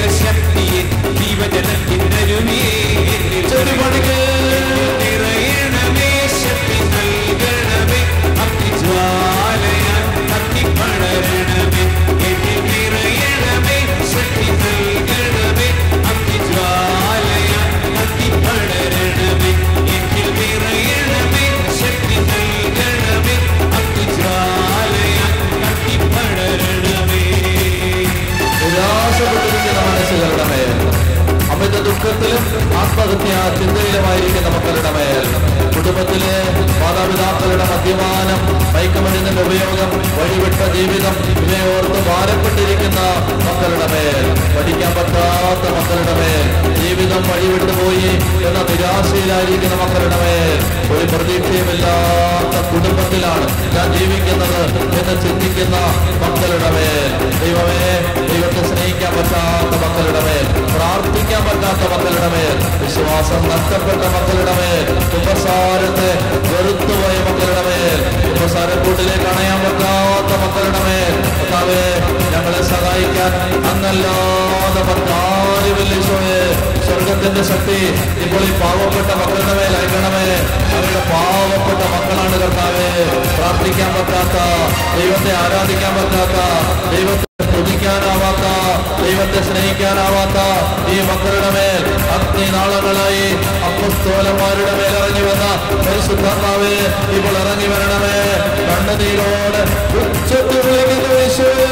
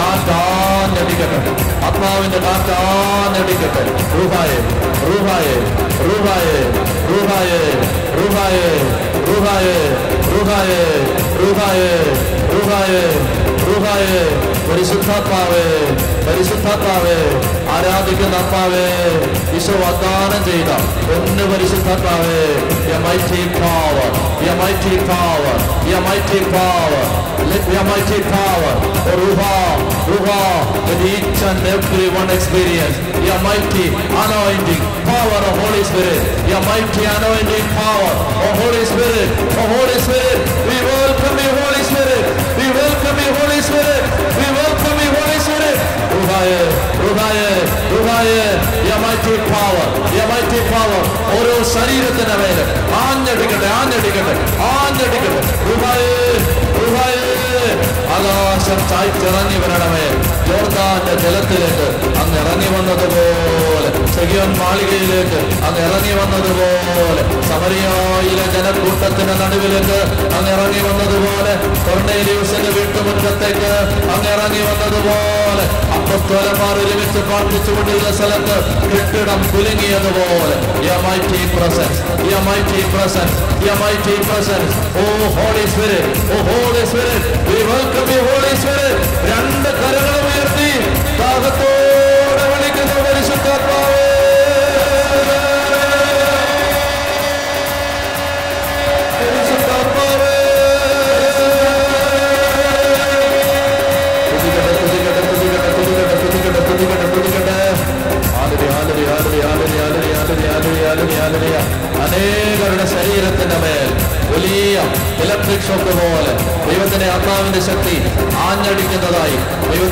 വെളിപ്പെടുത്തുന്നു.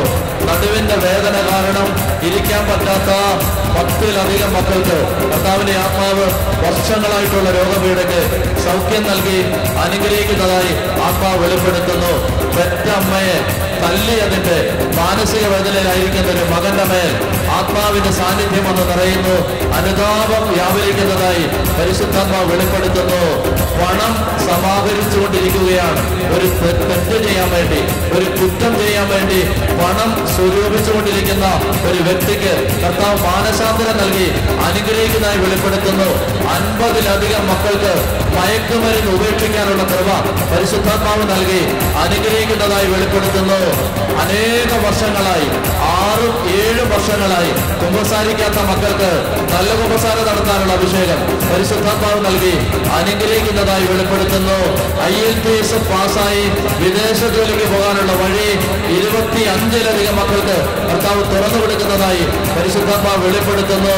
മാതാപിതാക്കളോടുള്ള വെറുപ്പ് ഹൃദയത്തിൽ നിന്ന് വിട്ടുപോകുന്നതായി പരിശുദ്ധാത്മാവ് വെളിപ്പെടുത്തുന്നു. ആത്മഹത്യ ചെയ്യാൻ തീരുമാനമെടുത്ത് ഇവിടെ വന്നിരിക്കുന്ന ഒരു മകളെ ദൈവത്തിലെ ആത്മാവ് ഇപ്പോൾ അതിശക്തമായ ആത്മസാന്നിധ്യം നൽകി കാണാൻ പറ്റാത്തൊരു അഭിഷേകം നൽകി ദൈവത്തിലെ ആത്മാവ് ഏറ്റെടുക്കുന്നതായി പരിശുദ്ധാത്മാവ് വെളിപ്പെടുത്തുന്നു. നാവ് ഉപയോഗിച്ച് എപ്പോഴും തെറി പറയുന്ന പത്തിലധികം ചെറുപ്പക്കാർക്ക് നാവിന്റെ വിശുദ്ധി നൽകി വചന പ്രഘോഷകരാകാൻ വരം നൽകി ദൈവത്തിന്റെ ആത്മാവ് വെളിപ്പെടുത്തുന്നതായി പരിശുദ്ധാത്മാവ് വെളിപ്പെടുത്തുന്നു. കരങ്ങളിൽ സ്തുതിക്കട്ടെ. ഹാലലുയ. ഹാലലുയ. ഹാലലുയ.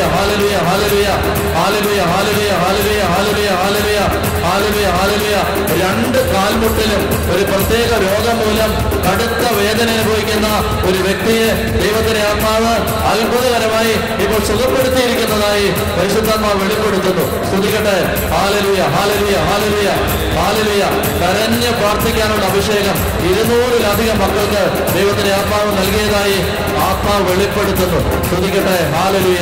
ഹാലലിയ. ഹാലലിയ. ഹാലലിയ. ഹാലലിയ. ഹാലലിയ. ഹാലലിയ. ഹാലലിയ. പഠനം അവസാനിപ്പിച്ച് ഒരു ജോലിക്കും പഠനത്തിന് പോവാതെ വീട്ടിൽ വലിയ ബാധ്യതയും തലവേദനയുമായിരിക്കുന്ന അനേകം മക്കളെ ദൈവത്തിന്റെ ആത്മാവ് ഉപരി പഠനത്തിനും ജോലിക്കുമുള്ള വഴി തുറന്ന് അനുഗ്രഹിക്കുന്നതായി പരിശുദ്ധാത്മാവ് വെളിപ്പെടുത്തുന്നു. ശ്രദ്ധിക്കട്ടെ ഹാലലിയ. ഹാലലിയ. ഹാലലിയ. ഹാലലിയ hallelujah, hallelujah, hallelujah, hallelujah, hallelujah, hallelujah, hallelujah, hallelujah. അതിനെ തുറന്ന് ഹല്ലേലുയാ. കരങ്ങൾ ഉയർത്തി കൈയടിച്ച്. ഹാലലിയ ഹാലലിയ യേശുവേ നന്ദി. യേശുവേ മഹത്വം. ശാന്തമായിട്ടിരുന്നേ ശാന്തമായിട്ടിരുന്നേ. മക്കളെ കർത്താവ് കൂട്ടായ്മയെ അതിശക്തമായിട്ട് ഉപയോഗിച്ചുകൊണ്ടിരിക്കുകയാണ്. ദൈവത്തിന്റെ ആത്മാവ് ഇടപെട അനേകം മക്കൾക്ക് വലിയ മാറ്റം ഈശോ ഇതിനോടകം തന്നെ നൽകിയിട്ടുണ്ട്. ഉപസാരത്തിലൂടെ അതെല്ലാം പൂർത്തിയാവും. മക്കളെല്ലാം നന്നായിട്ട് പ്രാർത്ഥിച്ചു ദൈവത്തിന്റെ ആത്മാവ് ഇടപെടും ഞാനൊരു ചെറിയ കാര്യം കൂടെ സൂചിപ്പിച്ചിട്ട് നമുക്ക് കുമ്പസാരത്തിന് വേണ്ടി ഒരുങ്ങാനുള്ള സമയം തരും. ഒരു പ്രധാനപ്പെട്ട കാര്യം എനിക്ക് എന്റെ ജീവിതത്തിൽ നിന്ന് പറയാനുള്ളത് അതായത് ഒരിക്കൽ ഞാൻ വളരെയധികം വിഷമിച്ചും ഭാരപ്പെട്ട് ഇരുന്ന ഒരു ഒരു കാലം. അതായത് എല്ലാ കാര്യങ്ങളും ചെയ്യുന്നുണ്ട്. എല്ലാം നന്നായിട്ട് ചെയ്യാൻ പരിശ്രമിക്കുന്നുണ്ട്. പ്രസംഗിക്കുന്നുണ്ട് പ്രാർത്ഥിക്കാൻ ശ്രമിക്കുന്നുണ്ട് എല്ലാം ചെയ്യുന്നുണ്ട്. പക്ഷെ എനിക്ക് ഒരാത്മീയമായ അഭിവൃദ്ധി ഉണ്ടാവുന്നില്ല. എനിക്ക് എന്റെ ശുശ്രൂഷ ജീവിതത്തിൽ എനിക്ക് വേണ്ടത്ര ഒരു കൃപ ശക്തമായിട്ട് കിട്ടുന്നില്ല. അപ്പൊ എവിടെയോ ഒരു തടസ്സം. എവിടെയോ ഒരു തടസ്സം. എന്താ തടസ്സം എന്നെനിക്ക് മനസ്സിലാവുന്നില്ല.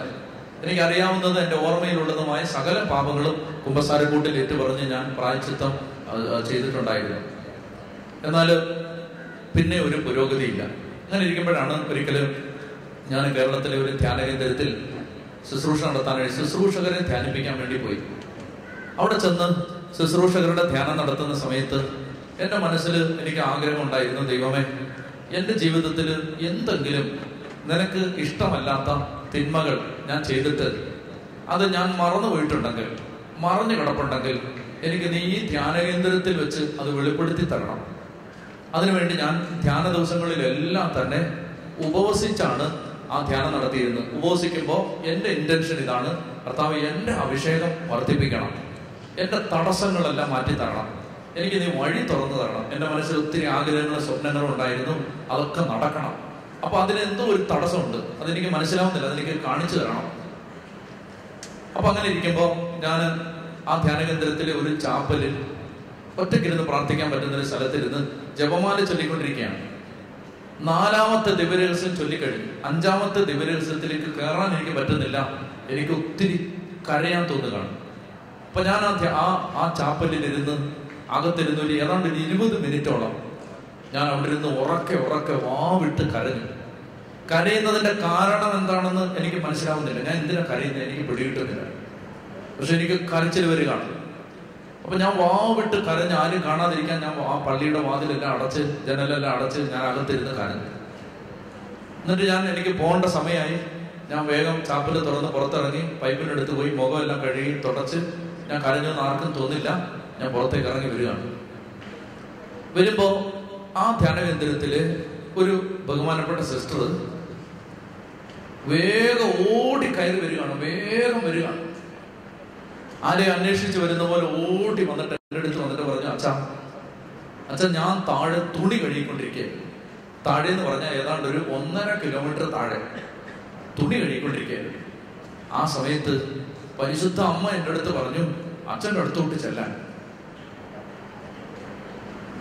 അപ്പൊ ഞാനിങ്ങനെ നിയന്ത്രിച്ച് നിൽക്കുകയാണ് കരയാതെ.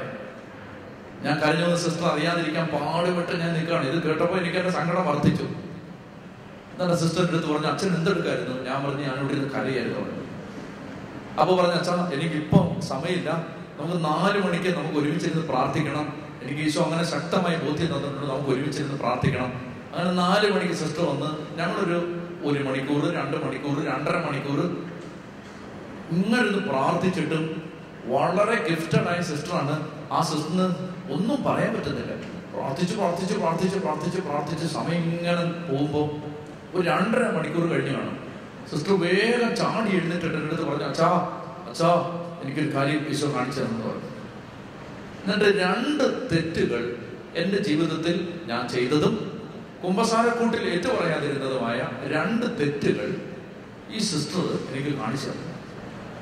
ഒന്ന് ഞാൻ പഠിച്ചുകൊണ്ടിരുന്ന സമയത്ത് യേശു ഏകരക്ഷകനാണോ എന്ന ചോദ്യത്തിന് അല്ല എന്ന് അന്നത്തെ എന്റെ വിവരക്കേട്ടിനും ബുദ്ധിമോശത്തിനും ഞാൻ വിളിച്ചു പറഞ്ഞിട്ടുണ്ടായിരുന്നു യേശു ഏകരക്ഷകനല്ല.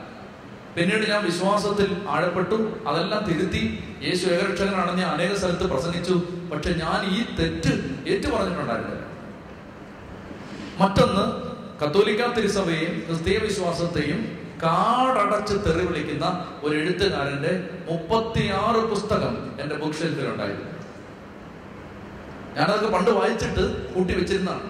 പണ്ട് വായിച്ചിട്ട് കൂട്ടി വെച്ച പുസ്തക കൂട്ടത്തിൽ ഒരു എഴുത്തുകാരന്റെ മുപ്പത്തി ആറ് പുസ്തകം എന്ന് പറഞ്ഞാൽ ക്രിസ്തുവിനെ തെരുവിളിക്കുന്ന സഭയെ തെരുവിളിക്കുന്ന വൈദികരെ തെരുവിളിക്കുന്ന യേശുവിന്റെ പ്രബോധനത്തെ തെരുവിളിക്കുന്ന ഒരു എഴുത്തുകാരന്റെ എന്റെ ചെറുപ്പത്തിൽ ഞാൻ വായിച്ച പുസ്തകമാണ്. അതെല്ലാം ഞാൻ കൂട്ടി വെച്ചിട്ടുണ്ടായിരുന്നു. മുപ്പത്തി ആറ് പുസ്തകം. ഈ സിസ്റ്റർ ഈ നമ്പർ പറഞ്ഞു. മുപ്പത്തി ആറ് പുസ്തകം. ക്രിസ്തുവിന് വിരുദ്ധമായത്. എനിക്ക് പെട്ടെന്ന് ഓർമ്മ വന്നു. ഏതാണ്? ഞാൻ പറഞ്ഞു ഉണ്ട്. അങ്ങനെ ഉണ്ടെന്ന് പറഞ്ഞു. എണ്ണ എനിക്കറിയില്ല. അവിടെ ചെന്ന് നോക്കിയാൽ അറിയൂ. ഉണ്ട്. മുപ്പത് പത്ത് പത്ത് മുപ്പതിലധികം പുസ്തകം ഉണ്ടാവും ഇഷ്ടംപോലെ ഉണ്ടായിരുന്നു. ഞാൻ നേരെ ഓടിച്ചെന്നു. ഓടിച്ചെന്നിട്ട് ഈ ഉദര സംബന്ധമായ പ്രയാസമുള്ള മക്കളെല്ലാം കൈവയ്ക്കുക. വയറിന് അസ്വസ്ഥത. പേടി എന്നാൽ നല്ലവരെ കൈവയ്ക്കുക. കർത്താവ് നിങ്ങൾക്ക് സൗഖ്യം തരുന്നുണ്ട്. ഒന്ന് സ്തുതിച്ചേ ശക്തമായിട്ട് സ്തുതിച്ചേ. ഹാലലുയ. സ്തുതിച്ചേ ശക്തമായിട്ട് സ്തുതിച്ചേ. ഹാലലുയ. ഹാലലുയ ഹാലലുയ ഹാലലുയ. ആമേൻ. കർത്താവ് നിങ്ങൾക്ക് പരിപൂർണ സൗഖ്യം ഇന്ന് തന്നു കഴിഞ്ഞു എന്ന് വിശ്വസിച്ച് ആമേൻ പറഞ്ഞു. ആമേൻ. ആമേൻ. അപ്പോ ശ്രദ്ധിച്ചേ. അതായത് ഈ സിസ്റ്റർ ഇത് പറഞ്ഞു കഴിഞ്ഞാൽ ഉടനെ ഞാൻ ഞാൻ നേരെ അവിടുത്തെ അച്ഛന്റെ അടുത്തേക്ക് ഓടിച്ചെന്നു അച്ഛൻ എനിക്ക് ഇപ്പൊ കുമ്പസാരിക്കണം. അപ്പൊ അച്ഛൻ പറഞ്ഞു അച്ഛാ പിന്നെ കുമ്പസാരിച്ച പോലെ ഞാൻ പറഞ്ഞു ഇല്ല എനിക്ക് ഇപ്പൊ കുമ്പസാരിക്കണം. അങ്ങനെ അച്ഛന്റെ അടുത്ത് ചെന്ന് ഞാൻ ഈ രണ്ട് പാപങ്ങളും ഏറ്റു പറഞ്ഞ് പ്രാർത്ഥിച്ചു. ഇനി ഞാൻ നിങ്ങളോട് പറയട്ടെ എന്റെ പ്രിയപ്പെട്ട സഹോദരങ്ങളെ. തിരുവനന്തപുരത്ത് ഒരു ധ്യാനകേന്ദ്രം ഉണ്ടാവാനും കോളേജിൽ നിന്ന് പുറത്തു വരാനും അതിനുശേഷം ഈ കർത്താവ് നടത്തിയ വഴികളെല്ലാം തുറക്കപ്പെട്ടത് എന്റെ ആ കുംഭസാരത്തിന് ശേഷമാണ്. ഒന്ന് കൈയടിച്ച് ചോദിക്കുന്ന പറഞ്ഞു അതായത് എന്റെ ജീവിതത്തിലെ എന്റെ ജീവിതത്തിലെ ഞാൻ ആഗ്രഹിച്ചതും പ്രാർത്ഥിച്ചതും സ്വപ്നം കണ്ടതുമായ വഴിയിലൂടെ ദൈവം എന്നെ നയിക്കാൻ തുടങ്ങിയത് അതിനുശേഷമാണ് എന്റെ ജീവിതത്തിന്റെ ടെസ്റ്റിമണിയാണ് അതായത് നല്ല കുംഭസാരം നടത്തുന്നതിനനുസരിച്ച് നമുക്ക് വേണ്ടി ദൈവം ഒരുക്കിയിരിക്കുന്ന വഴിയിലേക്ക് നമ്മൾ കയറി കയറി പോകും. അതുകൊണ്ട് എന്റെ ആത്മീയ പിതാവ് ഒരിക്കലും എനിക്ക് പറഞ്ഞു തന്ന ഒരു ഉപദേശം എന്റെ മനസ്സിലുണ്ട്. കുമ്പസാരിച്ച് കുമ്പസാരിച്ച് കയറി വരാൻ പറഞ്ഞു. എന്റെ മനസ്സിൽ അത് അങ്ങനെ കിടപ്പുണ്ട്.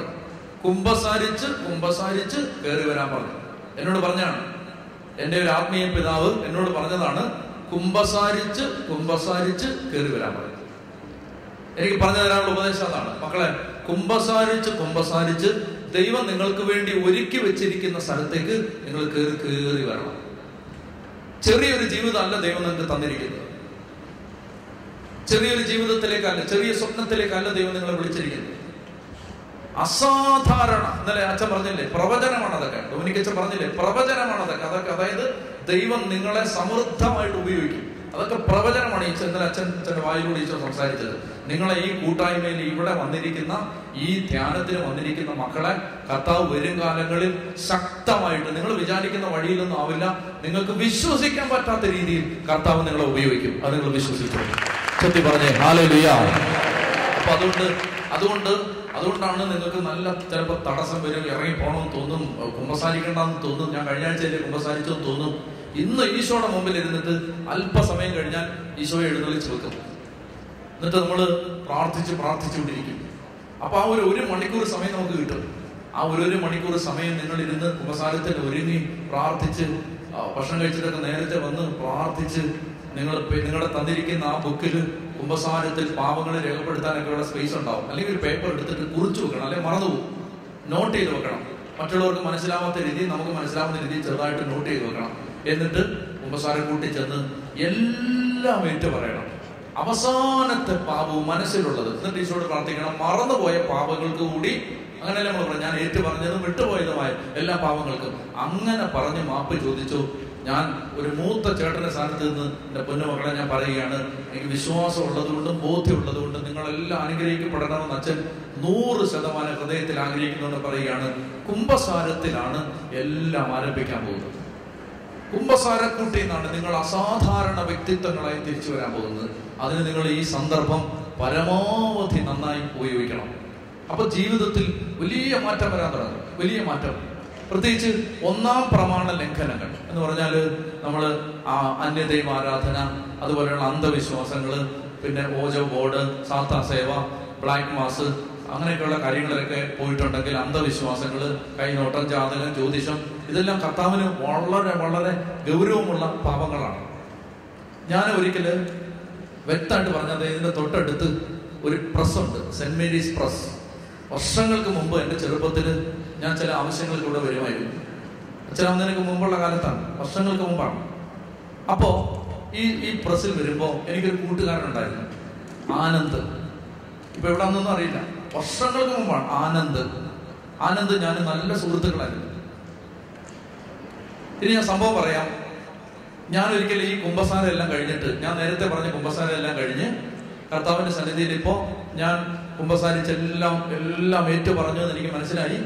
അങ്ങനെ കുംഭസാരം എല്ലാം കഴിഞ്ഞിട്ട് ഞാൻ ഒരിക്കൽ കർത്താവിനോട് പ്രാർത്ഥിച്ചു കർത്താവെ ഇനി എന്തെങ്കിലും പാപം ഞാൻ മറന്നു കിടപ്പുണ്ടെങ്കിൽ അത് നീ എങ്ങനെയെങ്കിലും എനിക്കൊന്ന് കാണിച്ചു തരണം? എന്ന് പറഞ്ഞിട്ട് ഞാൻ ഒരു പകൽ സമയത്ത് ഉച്ച കഴിഞ്ഞിട്ട് കിടന്നുറങ്ങുകയാണ്. ഉറങ്ങുമ്പോ വർഷങ്ങൾക്ക് മുമ്പ് ഈ ആനന്ദ് എന്നോട് പറഞ്ഞൊരു കാര്യവും. അതിനുശേഷം ഞാൻ ചെയ്തൊരു കാര്യവും കർത്താവ് എനിക്ക് സ്വപ്നത്തിലൂടെ കാണിച്ചു തന്നു. സ്വപ്നത്തിലൂടെ കാണിച്ചു തരികയാണ്. അതായത് ആനന്ദ് ഒരിക്കൽ എന്റെ അടുത്ത് പറഞ്ഞു ഞാൻ ചെറുപ്പമാണ് എന്നോട് പറഞ്ഞു നീ ജനിച്ച സമയവും നിന്റെ നാളും പറയാമെങ്കിൽ ഞാൻ നിനക്ക് കമ്പ്യൂട്ടർ ജാതകം എടുത്തു പറഞ്ഞു വർഷങ്ങൾക്ക് മുമ്പാണ്. എന്ന് പറഞ്ഞാൽ എന്റെ നല്ല ചെറുപ്പത്തിലാണ്. ഞാൻ പിന്നീട് സെമിനാരിയിലൊക്കെ പഠിച്ച് അച്ഛനായി. കുറേ വർഷങ്ങൾ കഴിഞ്ഞാണ് ഇത്. ഞാൻ പ്രാർത്ഥിക്കുന്നത് ദൈവമേ ഞാൻ ഈ ആനന്ദനെ മറന്നു. ആനന്ദിനെ വർഷങ്ങളായിട്ട് കണ്ടിട്ടില്ല. ഒരിക്കലും ഞാൻ ആ ആനന്ദിനെ സ്വപ്നം കാണാണ്ട് ഒരു സാഹചര്യമില്ല ഞാൻ അന്ന് ഉച്ചയ്ക്ക് കിടന്നുറങ്ങുമ്പോൾ ഞാൻ സ്വപ്നം കാണുകയാണ്. ആനന്ദ് എന്നോട് പറയുകയാണ് നിന്റെ നാളും നീ ജനിച്ച സമയം പറയാമെങ്കിൽ ഞാൻ നിനക്ക് കമ്പ്യൂട്ടർ ജാതകം എടുത്തു തരാം. ഇപ്പൊ ഞാൻ വീട്ടിൽ അമ്മയെ വിളിച്ച് ഞാൻ ജനിച്ച സമയം ഏതാണെന്നൊക്കെ ചോദിച്ച് എന്റെ നാളൊക്കെ കണ്ടുപിടിച്ച് ഞാൻ ഈ ആനന്ദിനോട് പറഞ്ഞത് ഞാൻ ഓർക്കുക ആനന്ദ് എനിക്ക് കമ്പ്യൂട്ടർ ജാതകം എടുത്ത് തരികയാണ്. ഇതെല്ലാം ഞാൻ സ്വപ്നം കാണുകയാണ്. നടന്നാണെന്ന് മുഴുവൻ. കമ്പ്യൂട്ടർ ജാതകം എടുത്ത് ഞാനിങ്ങനെ വിശ്വാസത്തോടെ വായിക്കുകയാണ്. ഇതെല്ലാം എന്റെ മനസ്സിൽ ഓർമ്മ വന്നു. ആ കമ്പ്യൂട്ടർ ജാതകം എവിടെയോ പോയി. എവിടോ നിന്ന് അറിയില്ല. വർഷങ്ങൾ കഴിഞ്ഞു. അതൊക്കെ കുട്ടിക്കാലത്തെ തമാശകളായിട്ടൊക്കെ കാണുന്ന ചിന്തിക്കുന്ന ഒരു കാലം ദൈവം കാണിച്ചു തരികയാണ്.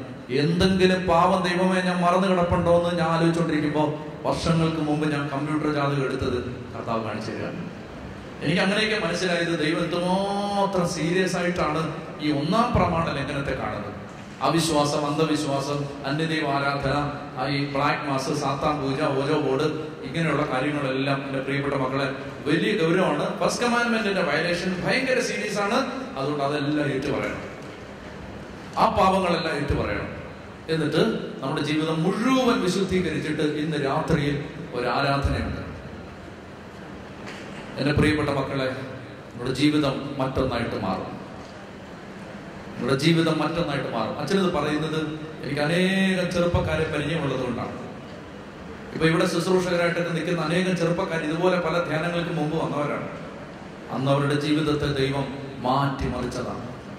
അന്ന് അവരുടെ സ്വപ്നങ്ങൾ മാറിയതാണ്. അന്ന് അവരുടെ ജീവിതം മാറിയതാണ്. എന്നെ വിശ്വസിക്കേണ്ട പ്രിയപ്പെട്ട സഹോദര സഹോദരി ദൈവം വലിയ മിറക്കൾ നിന്റെ ജീവിതത്തിൽ ചെയ്യാൻ പോകുന്നു. നമ്മൾ ഇനി ചെയ്യാൻ പോകുന്നത് നിങ്ങൾക്ക് കുറച്ച് സമയം തരാൻ പോവുകയാണ്. നിശബ്ദമായിട്ട് പരിശുദ്ധ കുർബാന ഇവിടെ എഴുന്നേൽച്ച് വെച്ച് ഈശോയുടെ മുമ്പിൽ ഇരുന്ന് നിങ്ങൾക്ക് ഭക്ഷണം കഴിക്കാൻ പോകുന്നത് വരെ ഒരു പതിനഞ്ച് മിനിറ്റ് സമയം കിട്ടും. ആ പതിനഞ്ച് മിനിറ്റ് എഴുതാനുള്ള സമയമാണ്. ഇവിടെ ഇരുന്ന് എഴുതണം. നമ്മുടെ ജീവിതത്തിൽ കുംഭസാരിക്കണമെന്ന് ദൈവം കാണിച്ചു തരുന്ന സകല പാപങ്ങളും നോട്ട് ചെയ്ത് വെക്കണം അല്ലെ? മറന്നുപോകും. അവിടെ ചിലപ്പോൾ മറന്നുപോകും.